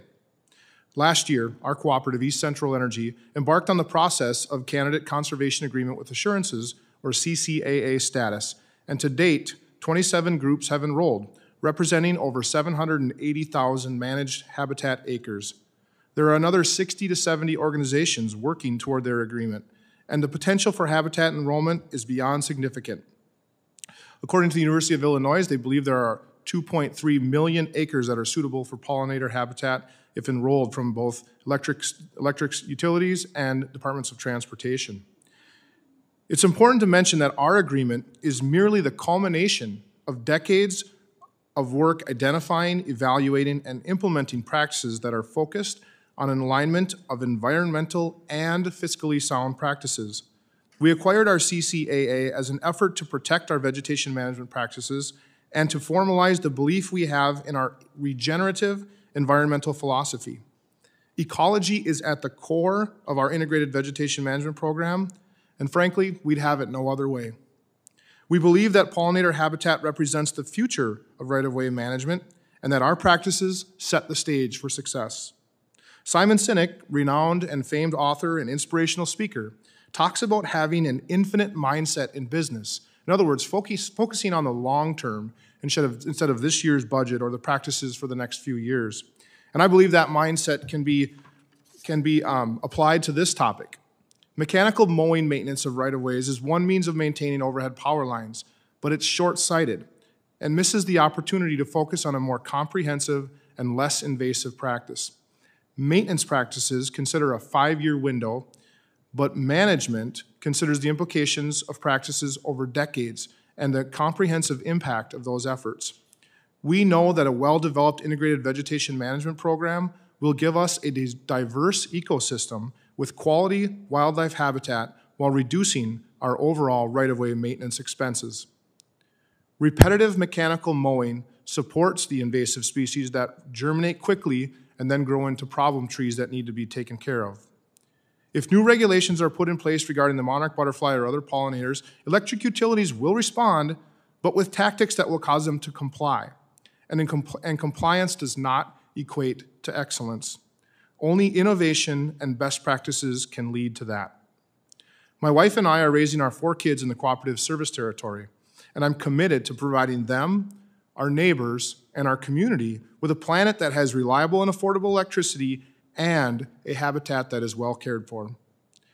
So if I'm asking you not to regulate our business, I feel also obligated to come to you with solutions to the problem. So here they are. Through NRECA and our statewide organizations, cooperatives can positively impact habitat. At East Central Energy, we've already demonstrated that. The next step for us is to share the results of our efforts and to help others replicate the success that we're seeing. By executing on innovative and sustainable practices, we can lower our overall costs while preserving pollinator habitat. On the other hand, regulations will lead instead to least efforts and resistance to those restrictions. The upper Midwest is the host to the fourth generation monarchs, which are the ones that fly back to Mexico to overwinter and plays a critical role in habitat management along the central corridor. But we all have a vested interest in the success of the monarch. Best practices will need to span from my home state of Minnesota all the way to Mexico. As a beekeeper myself, I understand the importance of pollinators, and I applaud this committee's thoughtfulness around the best path forward. Thank you for the opportunity to testify and for the important work that this group does. You'll see my slides here if we can advance the next one. Uh, the first is the uh, pollinator habitat near one of our substations. This is our headquarters in Braham, Minnesota. We worked with the city to rezone that property and uh, cultivate it for habitat um, for pollinators. Next slide, please. And I believe there's one more slide which shows some uh, ditch right-of-way that's been maintained uh, with an ecological mindset, and you see the pollinator habitat there. In closing, I hope that you'll join me in an infinite mindset around vegetation management, understanding that we have common goals and only need to stretch our thinking to develop best practices and mutually beneficial outcomes rather than more red tape for organizations to navigate. Let's come together to provide good habitat for our pollinators and for our future. I'm happy to answer any questions you have about our projects or this topic. Thank you. Thank you, Mr. Johns. I want to thank the panel for their testimony, and uh, we'll now bring it back to members for their questions. Reminder to members that uh, under Committee Rule 3D, there's a five-minute limit on questions, and we will now uh, begin that process. I'll recognize myself for five minutes, and I'd like to start with Mr. Rickard. Mr. Rickard, the more we talk about IUU fishing, the more I just feel like a dog on a bone. Uh, and it's not because I don't love NOAA and the mission and the professionalism of the people there who do such important work, but when it comes to this scourge of IUU fishing, uh, they're not getting it done. And it is hard to avoid the conclusion that they just don't want to fix this problem. We get apologies, we get rationalizations for failure. We've got a program called SIMP that might as well be called WIMP. Uh, and so I don't blame uh, Dr. Spinrad or Ms. Coit. They have just landed in these new positions, but there's a problem somewhere in this agency, and they are going to really have to assert some leadership to make fundamental changes. And so, uh, with that, let me begin by asking you about the fact that we're importing $2.4 billion worth of seafood uh, a year. No single industry was more negatively impacted by this problem than warm water shrimping, your industry. And uh, my bill uh, with Congressman Graves, who, by the way, would be with us, but he is simultaneously, and I, I understand, three or four different hearings this morning. It's one of those days on Capitol Hill.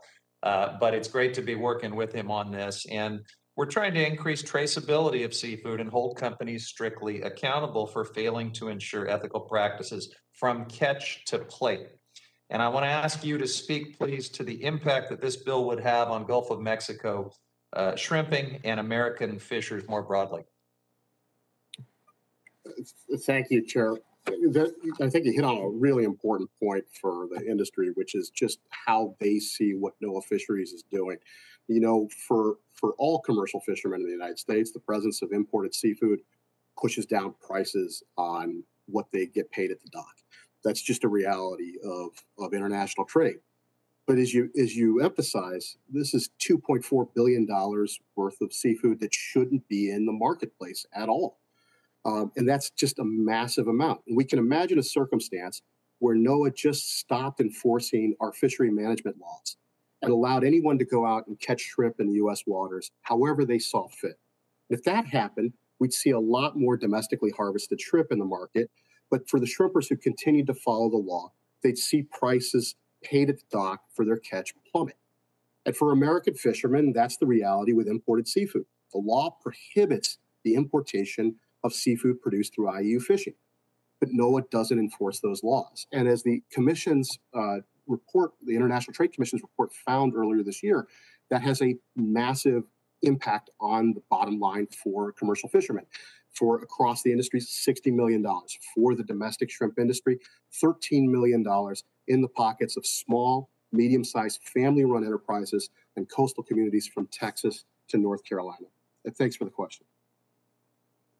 And uh, let me ask you about the SIMP program, which only applies to 13 species groups. Why should NOAA expand that program to all species?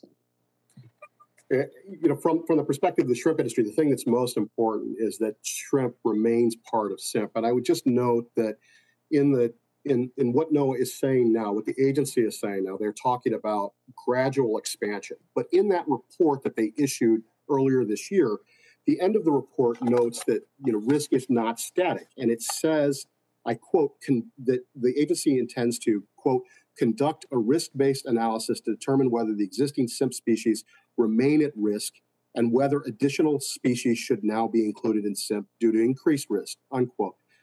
Look, the shrimp industry has strong views about the possibility of removing species from SIMP's coverage. And that seems to be what NOAA Fisheries is saying they are holding the ability to do at some point in the future. And that's we're very concerned because it's not clear what the analysis is that's being done as to what risk is done because SIMP is not being enforced because IU seafood is not being kept out of the market. Yeah, and when you um, when you hear an agency offer these rationalizations for ineffectiveness, essentially saying it's just too hard. When you see them blowing off a specific congressional directive to take action, um, what you know, what do you, what do you have to say? Just closing thoughts about what seems to be a culture problem uh, at NOAA uh, in terms of doing the work that Congress has uh, directed them to do, and that we desperately need them to do. Your industry is directly harmed by this problem. How do you feel about the response we're getting? We've been getting for a long time now from NOAA. I, I think the main thing from the fisherman's perspective, and I'm not a fisherman, hearing from them is, is they're heavily regulated.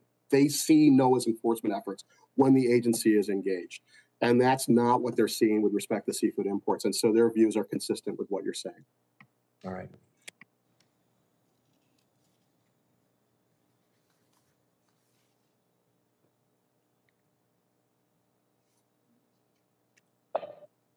Uh, Ranking Member Bentz, are you with us? Yeah, yes, I am, Mr. Chair. All right, it's it's uh, your turn. Thank you, Mr. Chair. Before I begin, I'd ask unanimous consent to enter into the hearing record a letter from the Congressional Sportsmen's Foundation concerning some of the bills we're hearing today. Without without objection. Thank you, Mr. Chair. And also, uh, leading into my question of Mr. Johns, I just want to mention uh, there were some remarks earlier about uh, that that reflect to me an incorrect understanding of my suggestion that we address uh, limitations under the current crafting of the ESA. And as I said in my opening statement, I think the way our uh, ESA is being implemented now forces agencies to choose between fish on the one hand and other uses. And this does not mean that uh, when I suggest uh, farmers and small communities and other people should get all of the water, it's just the opposite. What I'm suggesting is we need to fix the ESA so we don't give all the water to just one use. So right now, what they're forced to do and, and the, is, is give all of the water, in this instance, to the fish. And this is a consequence of an ESA that's inappropriately crafted. The CCAAs are a device that are in, uh, they've come up with that are utilized in anticipation of a listing. And that's why it's called a candidate uh, agreement. And so, uh, as opposed to a already uh, determined agreement. I just want to clear that what I'm asking for and, and asked for in the opening statement is a repair job on the ESA to make the thing work in a more balanced way so people aren't running from a draconian device that destroys communities, which is exactly the case in the Klamath right now, and in fact, across much of our wooded area in Oregon as we watch it burn up. Now, with that, um, uh, Mr. Johns, how would listing the monarch butterfly impact your ability to innovate? Ranking Member uh, Bentz, thank you for the question. Um, you know, the CCAA was a collaboration between the U.S. Fish and Wildlife Service and many other agencies, including um, University of Illinois Chicago. And I think the work that's been done has just been fantastic. And our, our enrollment in that program has been beneficial to us. Uh, and I think the work that's being done is beneficial uh, to, to society as a whole and our industry, certainly. Um, the enrollment in CCAA is contingent on uh, the monarch not being listed. So as that progressed, it would certainly change the ability for others to participate and glean the knowledge and practices that we've been able to develop. So we're grateful for that opportunity. We'd like to see it continue. And, and Mr. Johns, do you think the ESA listing, should that occur, would that, in your opinion, benefit uh, the monarch species overall? Well, I would yield to the experts. I'm not a biologist, um, as you heard my education, but I will say um, that there are unintended consequences often with things that like that that happen. Um, we're very grateful for the opportunity to participate in the CCAA, and we'd like to continue the work that's being done in that program. We just heard from Fish and Wildlife Service on our last panel. Is your opinion, in your opinion, what can they do to encourage more enrollment in, in the Monarch uh, Butterfly CCAA? Right. Uh, education awareness. I think uh, utilities, departments of transportation, I know in Minnesota we have a lot of, we're, we're benefit from a lot of state land and the ability to transform some of that into pollinator habitat could also be advantageous. I think an overall uh, strategic plan around CCAA to create monarch thoroughfares through our, through our country would be beneficial. Um, and I think we're on the right track with the U.S. Fish and Wildlife Service's work on the CCAA. Uh, and I'd like to see that continue. And I want to go back to your earlier remarks because uh, the, the importance of the uh, scientific analysis, if you will, or the biological analysis of what you're doing cannot be overstated. Right. So uh, I think you said that to, to be uh, qualified as a CCAA, you have to be approved uh, by scientific analysis. And so that must be in the process of happening. And then are you also reaching out for further help uh, in, in the scientific space so that you're getting it right? Well, we're certainly um, accountable for our CCAA en enrollment, and so we continue to work with the experts in the industry to ensure our continued enrollment in that program. Um, we are also uh, moving forward on a lot of environmental issues, uh, you know, removed from the monarch butterfly in particular. Uh, we think our corporate social responsibility extends far and wide, and we want to continue to meet our members' needs uh, for responsible environmental interfaces, if you will. And so um, we definitely work with experts as it's relevant. And finally, in the brief time we have left, uh, you, you are a not-for-profit, a utility. So what is this costing your members? Well, uh, fortunately, the, these best practices do result in savings. We spend between seven and nine million dollars a year on vegetation management. Of course, we have that cost regardless of our CCAA enrollment. Um, but, but the goal is, as I said, an infinite mindset. We invest now and we save in the future. And so um, we do have an increased cost. We haven't uh, really dialed that in yet, but we are uh, investing in our future because we intend to be here for a very long time serving the residents of rural Minnesota. Thank you, Mr. Chair. I yield back. I thank the ranking member, and uh, we'll now recognize the gentlelady from Michigan, Congresswoman Dingell, for five minutes. Thank you again, Chairman Huffman and Ranking Member Bentz, uh, and all of the witnesses for lending us your time and expertise today. I appreciate the wide variety of conservation legislation before us, and it's really some very important uh, work. And the committee's willingness to include a number of bipartisan bills, including the Recovering America's Wildlife Act. Um, I'd like to direct this to um, Mr. O'Mara. Thank you for your testimony and support of the Recovering America's Wildlife Act. In your testimony, you mentioned the challenges that inconsistent and low funding levels have caused for species conservation efforts. How would the permanent dedicated funding in the Recovering America's Wildlife, Wildlife Act both meet the current backlog of wildlife conservation needs while ensuring successful conservation efforts moving forward? Yeah, thank you, Congresswoman, and thank you just for your, your absolutely incredible leadership on this entire effort. Um, I mean, like like Dr. Zavaleta said, I mean, we have a lot of the tools, um, we just haven't had them resourced. And you know, in places where we have invested in, in saving species, whether that be the brown pelican example she used, or the, the bald eagle, the brown pelican or the bald eagle, um, the American alligator, the you know, kind of the range of species that that needed to be recovered, or species that we hunt and fish. Like we've done a remarkable job bringing back duck populations from the brink um, over the past century because of things like Pittman Robertson and, and the duck stamp. Um, where we've invested, we have done well. Where we haven't invested, we've seen kind of utter disaster. And so the predictability, and, and you know, and I know it's a it's a it's a big number, um, but frankly, it's a it's a fraction of the cost of inaction. Um, but we know that if we equip kind of great biologists and their conservation partners to be able to do the work on the ground, um, we can save many of the 12,000 species that we're most concerned about right now. Um, thank you. You also discuss and highlight not only some of the innovative state-based efforts this legislation would fund, but also the outstanding work that the tribes have done on species conservation with limited resources. How does the 97.5 million in annual dedicated funding in RAWA allow tribes to build on their successful record of wildlife conservation? Yeah, no, I appreciate the question. And look, I think one of the, the longstanding historical injustices is that the vast majority of wildlife conservation programs in this country explicitly exclude the tribes from participating. There's a very small competitive grants program through the state wildlife grants program that all of you, you know, generously support, um, but it's very small, a few million dollars that's allocated, you know, for a competitive program across the entire country. There's never been dedicated resources, despite the 140 million acres of, of tribal lands in this country, the incredibly important water, the, the wildlife that I call them home. And so this is the most important piece of wild, frankly, conservation funding proposed ever for our, our, tribal partners, which is why you've seen such broad support from tribal leaders from across the entire country. I mean, in every part of the country, you're, you're seeing tribal leaders you know, speak out, clamoring for the passage of this bill because it's so significant. Um, thanks to your leadership and, and, Chairman, and Chairman Huffman and Chairman Grijalva um, for building a tribal title into this legislation, which I think was one of the, the things that was lacking in the, the very first iteration of this bill a few years ago. Thank you. You also mentioned that the bill would create good local jobs in communities across the country and support healthier communities for people. What are some of the economic and job benefits of funding wildlife conservation?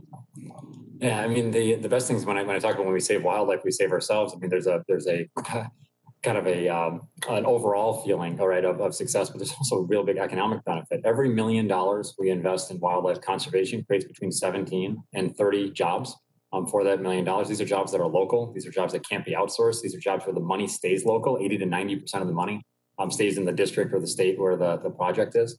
And so it's a, it's a way to really support a lot of job creation. I think it could align with the Civilian Conservation Corps and a Civilian Climate Corps in a, in a really smart way, um, as well as help bolster outdoor recreation economies in some of the communities that are uh, slowest to recover from the, the pandemic. I mean, this is a true win-win-win on every level. So let me, in closing, just have you very quickly. Um, RAWA was modeled on two successful previous programs, Robertson and Dingell Johnson. Could you just talk about why they are successful and why this was modeled after it?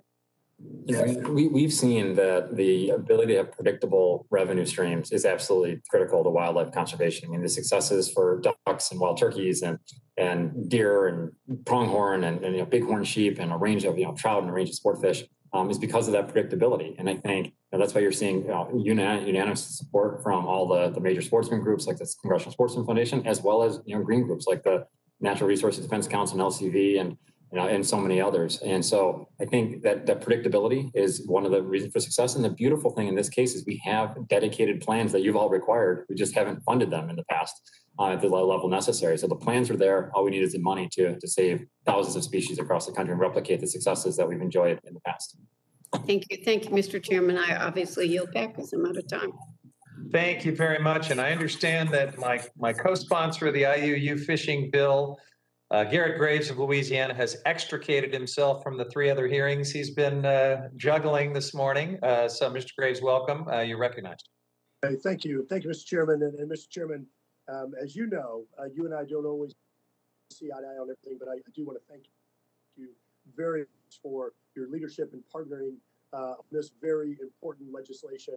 Um, I appreciate you listening to us and, and some of the concerns that, that, that we had in some of the initial drafts and working with us. Um, I think this bill, the IUU bill, is, is absolutely critical, and it's everything from the environment to sustainable uh, global fisheries, uh, candidly to national security with some of the things we've seen with other uh, countries using their fishing fleets. Um, and, and, and most importantly, uh, I think just leveling the playing field for, for our domestic fishers to have a fair shot. And, and as you know, and, and we often talk about, the United States often has some of the most stringent environmental and sustainable sustainability uh, regulations and best practices. And so the more we fish, uh, and the more the, the United States and the globe depends upon our supply, it's actually better for, for the globe and for the environment. And, and we've got a, um, a great witness uh, today from the from the Southern Shrimp Alliance, and um, I, I, I, wanted to ask um, uh, th- first, thanks for participating uh, today, but um, and, and for your work with domestic seafood producers.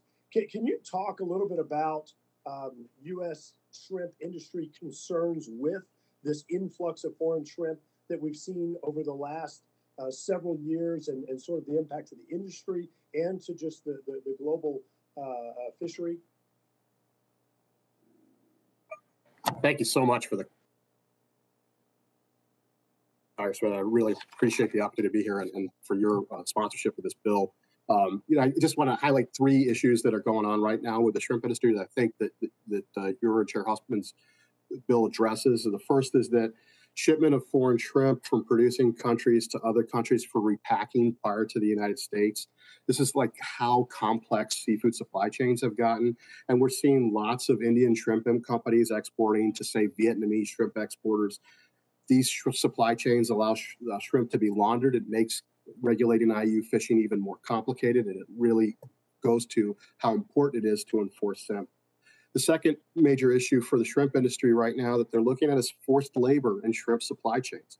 The continuation of production models that use contract labor in, for peeling shrimp um, after that same production model was found to have pervasive slave labor in Thailand is deeply concerning. And it causes not only losses in income to shrimp fishermen at the dock, but also to our shrimp processing industry.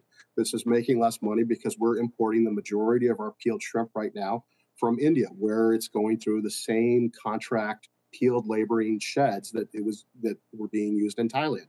And the final thing is just the high percentage of IUU fishing for imported warm water shrimp. In July, we the Southern Shrimp Alliance asked for the HTS codes to be revised so that it breaks out wild caught shrimp from farm raised shrimp. And we're hoping that that will help NOAA to be able to focus on where there's a lot of shrimp coming into the market, because they estimated it being around 20, the commission estimated being around 20% of all shrimp being imported.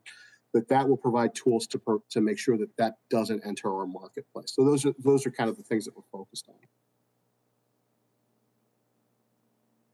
You're muted, uh, Congressman Graves. Myself, um, sorry about that. Uh, one other question. Um, if, if you look at, at, at the text of, of, of our of our bill, uh, I'm trying to remember the uh, HR 3075, if, if that were implemented, how does it help to address the issues that you raised and sort of level that playing field?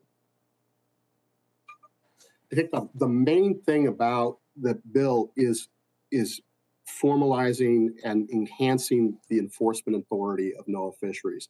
That the, the goal is to prevent the importation of seafood that should not be in this marketplace. And the bill is extensive. It has multiple ways of going at that particular uh, that problem, which is being wholly unaddressed right now. And so for the shrimp fishing industry, you know, what the, com- the International Trade Commission's report finds is that is a pocketbook issue, that we're talking about $13 million more in the industry every year, more money for the, the fishermen that are working in Louisiana. And that's essential right now to guarantee the survival and continued investment in the industry. Uh, Mr. Chairman, I, I just want to say, uh, one, uh, hello and shout out to, to my friend, Mr. O'Mara. Good to see you. Um, appreciate you being here today. And, and lastly, Mr. Chairman, I'm gonna jump on my high horse for a minute and say, as much as, um, as, as you think I'm crazy, and, um, I may, I may reciprocate sometimes with you, um, this body has got to figure out those areas where people on very different views and very different constituents can find areas to work together like you and I have. And, Yep. uh, I'm, I'm, I'm very imperfect, as you know, but I really do appreciate the, uh, opportunity to find some of these niche areas where you and I can work together to do things that make sense and align for both of our districts. So I want to say thanks again. I thank the gentleman. We're, we're just getting warmed up on bipartisan uh, problem solving here, Mr. Graves. So thank you for that. Uh, And with that, uh, we're going to go to Mr. Case uh, from Hawaii. Thank you again, uh, um, uh, Mr. Chair, and um, to all of our witnesses. Uh, Really grateful for your uh, testimony. um, uh, To um, um, Dr. Zavaleta and Mr. O'Mara in particular, I don't want you to feel like I'm I'm I'm omitting you. Um, I do appreciate um, your focus on a couple of goals that we're trying to pursue here. First of all, how do we dry up the market in the United States? uh, for uh, endangered species uh, um, purchase and consumption and importation here, because once we dry up that market, we really hurt uh, the actual uh, sources um, of the problem to start with. And second, how do we how do we adequately fund and resource and manage the protection of our our endangered uh, um, species right here in in uh, our country, uh, whether by land or air or sea? And I would be remiss if I did not um, mention that um, unfortunately, my Hawaii is both the endangered species capital of the world and the extinction capital of the world. Uh, and so much of what you uh, talked about uh, applies directly to, to my state. Um, and um, but I want to go back to Mr. Rickard because I'm uh, like the chair chewing on that same bone, um, IUU. Um, so, Mr. Rickard, straight question: How can we actually improve um, the specific bill that uh, Mr. Huffman has introduced and that I have um, uh, co-sponsored. And I give you three three areas where I at least have questions. Uh, number one, uh, there's a there's a there's a vessel um, a footage limitation, and I question whether there aren't a lot of IUU uh, fishing fleets out there at less than 50 feet. Uh, so that's one question for you. Uh, another is that um, should we should we um, actually uh, become more a lot more transparent in the vessel monitoring system that NOAA operates, which I think it regards as proprietary. In all honesty, I don't think anybody fishing in our waters has a, an inherent right to privacy when they use the natural resources of our country. Uh, so that's an open question. And then finally, how do we get at um, high seas illegal fishing um, where there is an indirect nexus to our country, but nonetheless some nexus where we could actually um, uh, have some other consequence on clearly illegal fishing, even though the product of that fishing is not actually imported into our country. Thank you, Congressman Case, for the questions. I, um, this is where my, my technical knowledge isn't great about the, the vessels. I, I'd say that one of the concerns that we have just as going forward is making sure that the agency is reporting what it's seeing in its supply chain reporting and in its traceability reporting. So you talked about uh, smaller vessels. Uh, you know, we also have a similar concern with respect to, to aggregation of farmed seafood out of ponds so that there is actually some traceability back and it just doesn't say, well, we got it from a whole bunch of different places and it came to one spot. That's that's not traceability, and that has to be something that is addressed. So we think there is a parallel uh, circumstance when you're talking about you know vessels that, that might be smaller where, where that aggregation comes into play. Um, I think for the the uh, want to really focus on your last question, which is the high seas and legal stuff. One of the things that when the agency says that it, it, it is part of an interagency process or working with other agencies, one of the things that's left out is the specific explicit authority that the agency has to address issues of importance to this committee and frankly to the entire country. And that is to make, to leverage access to the US market um, in order to ensure that, that countries do take uh, these issues seriously, whether it's IUU fishing on its own or forced labor and seafood supply chains. By being able to to take in the prohibitions um, on imports that are part of the statute already and be able to use that as a tool is just an, an incredibly important incentive to get uh, changes in, in the way that, that uh, this uh, proceeds overseas. Okay, so let me just make sure I understand you there. So you're, you're, you're basically saying, okay, we can identify the illegal imports, uh, or, well, we actually have a major problem in doing that right now, but assume we're doing it. Uh, you are saying essentially to broaden the range of penalties uh, that are associated with that. In other words, it's not just about, um, you know, it's not just about you can't import anymore. Um, it is about another consequence at the Department of State level for perhaps the parent company, even the country itself. Is that right? Yes, under existing law, NOAA has the authority to prohibit imports of fish and fishing uh, products. Uh, that's already existing. It's just not something that's used. I know, but I'm asking, is there a broader range of penalties we should, we should consider beyond just prohibiting the, the importation? I thought that's what you were saying by interagency cooperation. Right. I, I'm sorry. I'm just saying it, it doesn't go just to the specific product. It goes very far beyond that, which is Okay. something way beyond what is currently even being contemplated. Okay, thank you very much. I yield. Thank you, uh, Mr. Case. Uh, Chair now recognizes Mr. Stauber for five minutes. Uh, Thank you, Mr. Chair. Uh, Mr. Johns, East Central Energy entered into a first-of-its-kind voluntary candidate conservation agreement with assurances for the Monarch in 2018. Can you describe for the committee how this agreement came about and the benefit to monarch habitat? Uh, The, the agreement came about um, really as a result, uh, as I said a little bit in my testimony, of our ecological practices and the things that we believed in kind of inherently. Um, And, and I think the second part of your question was the benefit to the monarch.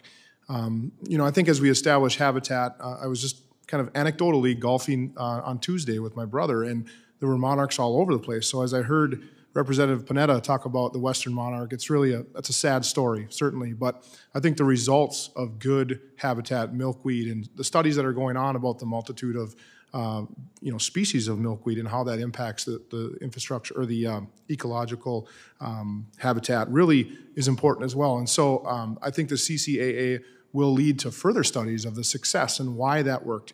Not just the methodology, but the results and what was important about the results that led to the success. So, really looking forward to working with uh, instead of against the, the U.S. Fish and Wildlife Service on this project and um, continued collaboration and, and cooperation. So East Central Energy, when you went, uh, went, uh, got involved in the candidate conservation agreement, were you forced to do that, or did you do that on your own as a? uh, no, that was completely voluntary. Okay. Uh, And how many organizations, uh, to your knowledge, have joined the Monarch CCAA in the last couple of years following the success of ECEs?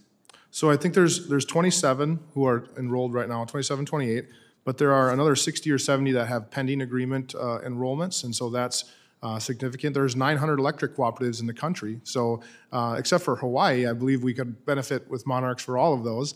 Um, and so, you know, I think that's just a, a good uh, goal to set is to you know raise awareness and help folks understand that there are there is alignment between these environmental and fiscal goals that we have as a, as a nonprofit to serve our members uh, valuable product. And again, on those cooperatives, as you get more people uh, make, you know, becoming part of this uh, agreement, are they forced to do it, or are they do it on their own? No, it's it's voluntary at this point. Yep. Okay. Uh, uh, Mr. Johns, just this morning, I sent a letter to Secretary Haaland with 16 other Republicans urging her not to list the monarch under the Endangered Species Act, countering a push by this committee's majority. Can you describe how listing the monarch, as proposed by my Democrat colleagues, would upend the work done by East Central and other organizations? Well, I believe um, our CCAA would be protected in the case of a listing. However, the forward progress that we were just talking about would be would be stifled. Uh, other cooperatives would have less of an opportunity to gain from that knowledge and understanding. Uh, and I could imagine uh, they might be even more um, kind of regressive in their thought process in order to um, comply with uh, regulations associated with a listing. When you have um, a government agency dictating or mandating um, when you are mandated to do something by the federal government, and um, in this case, East Central Energy absorbs a cost, do you pass it on to your customers? Correct. Our, cu- our customers are members um, and member owners, in fact, and so they own a portion of the equity in the organization, much as a shareholder would uh, of, of an investor-owned utility. And so uh, any costs that come to us are passed through to them uh, in either debt or in higher bills. Okay. Um, Mr. Chair, I'd like to enter uh, the letter I sent with 16 of my Republican colleagues into the record, and I yield back.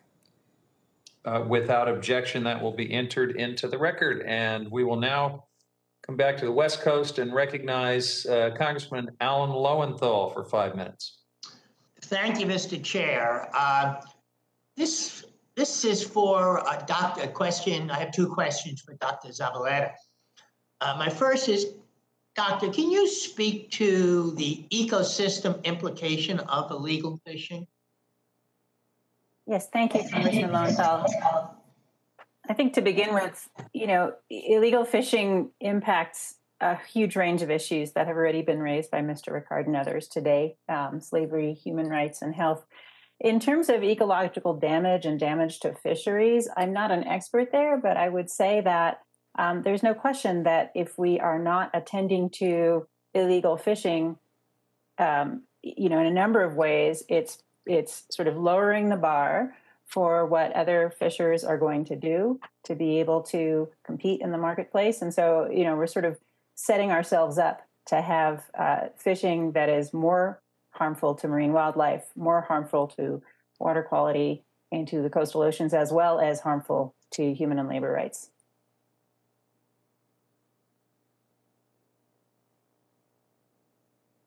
I want to talk about finfish aquaculture sustainability. And I know you, all your work on your research on ecosystems, inherent complexity and the interconnectivity between ecosystem changes and climate changes and human well-being.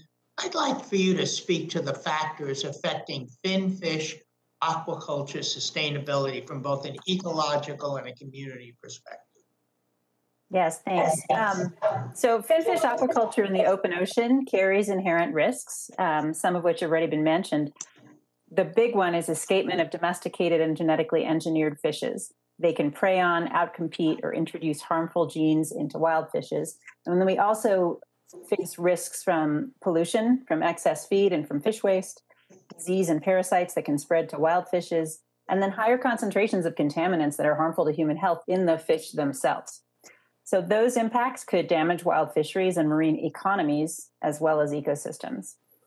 I think regulation is crucial to managing those risks and not just in the US. And as I said, I worry most about invasion risks because my understanding is that a certain amount of escapement is inevitable. Um, storms, shark attacks, wear and tear on fish pens, industrial accidents all mean that some fish will escape. So I agree in particular with other scientists that non native especially transgenic fishes don't have a place in open ocean aquaculture.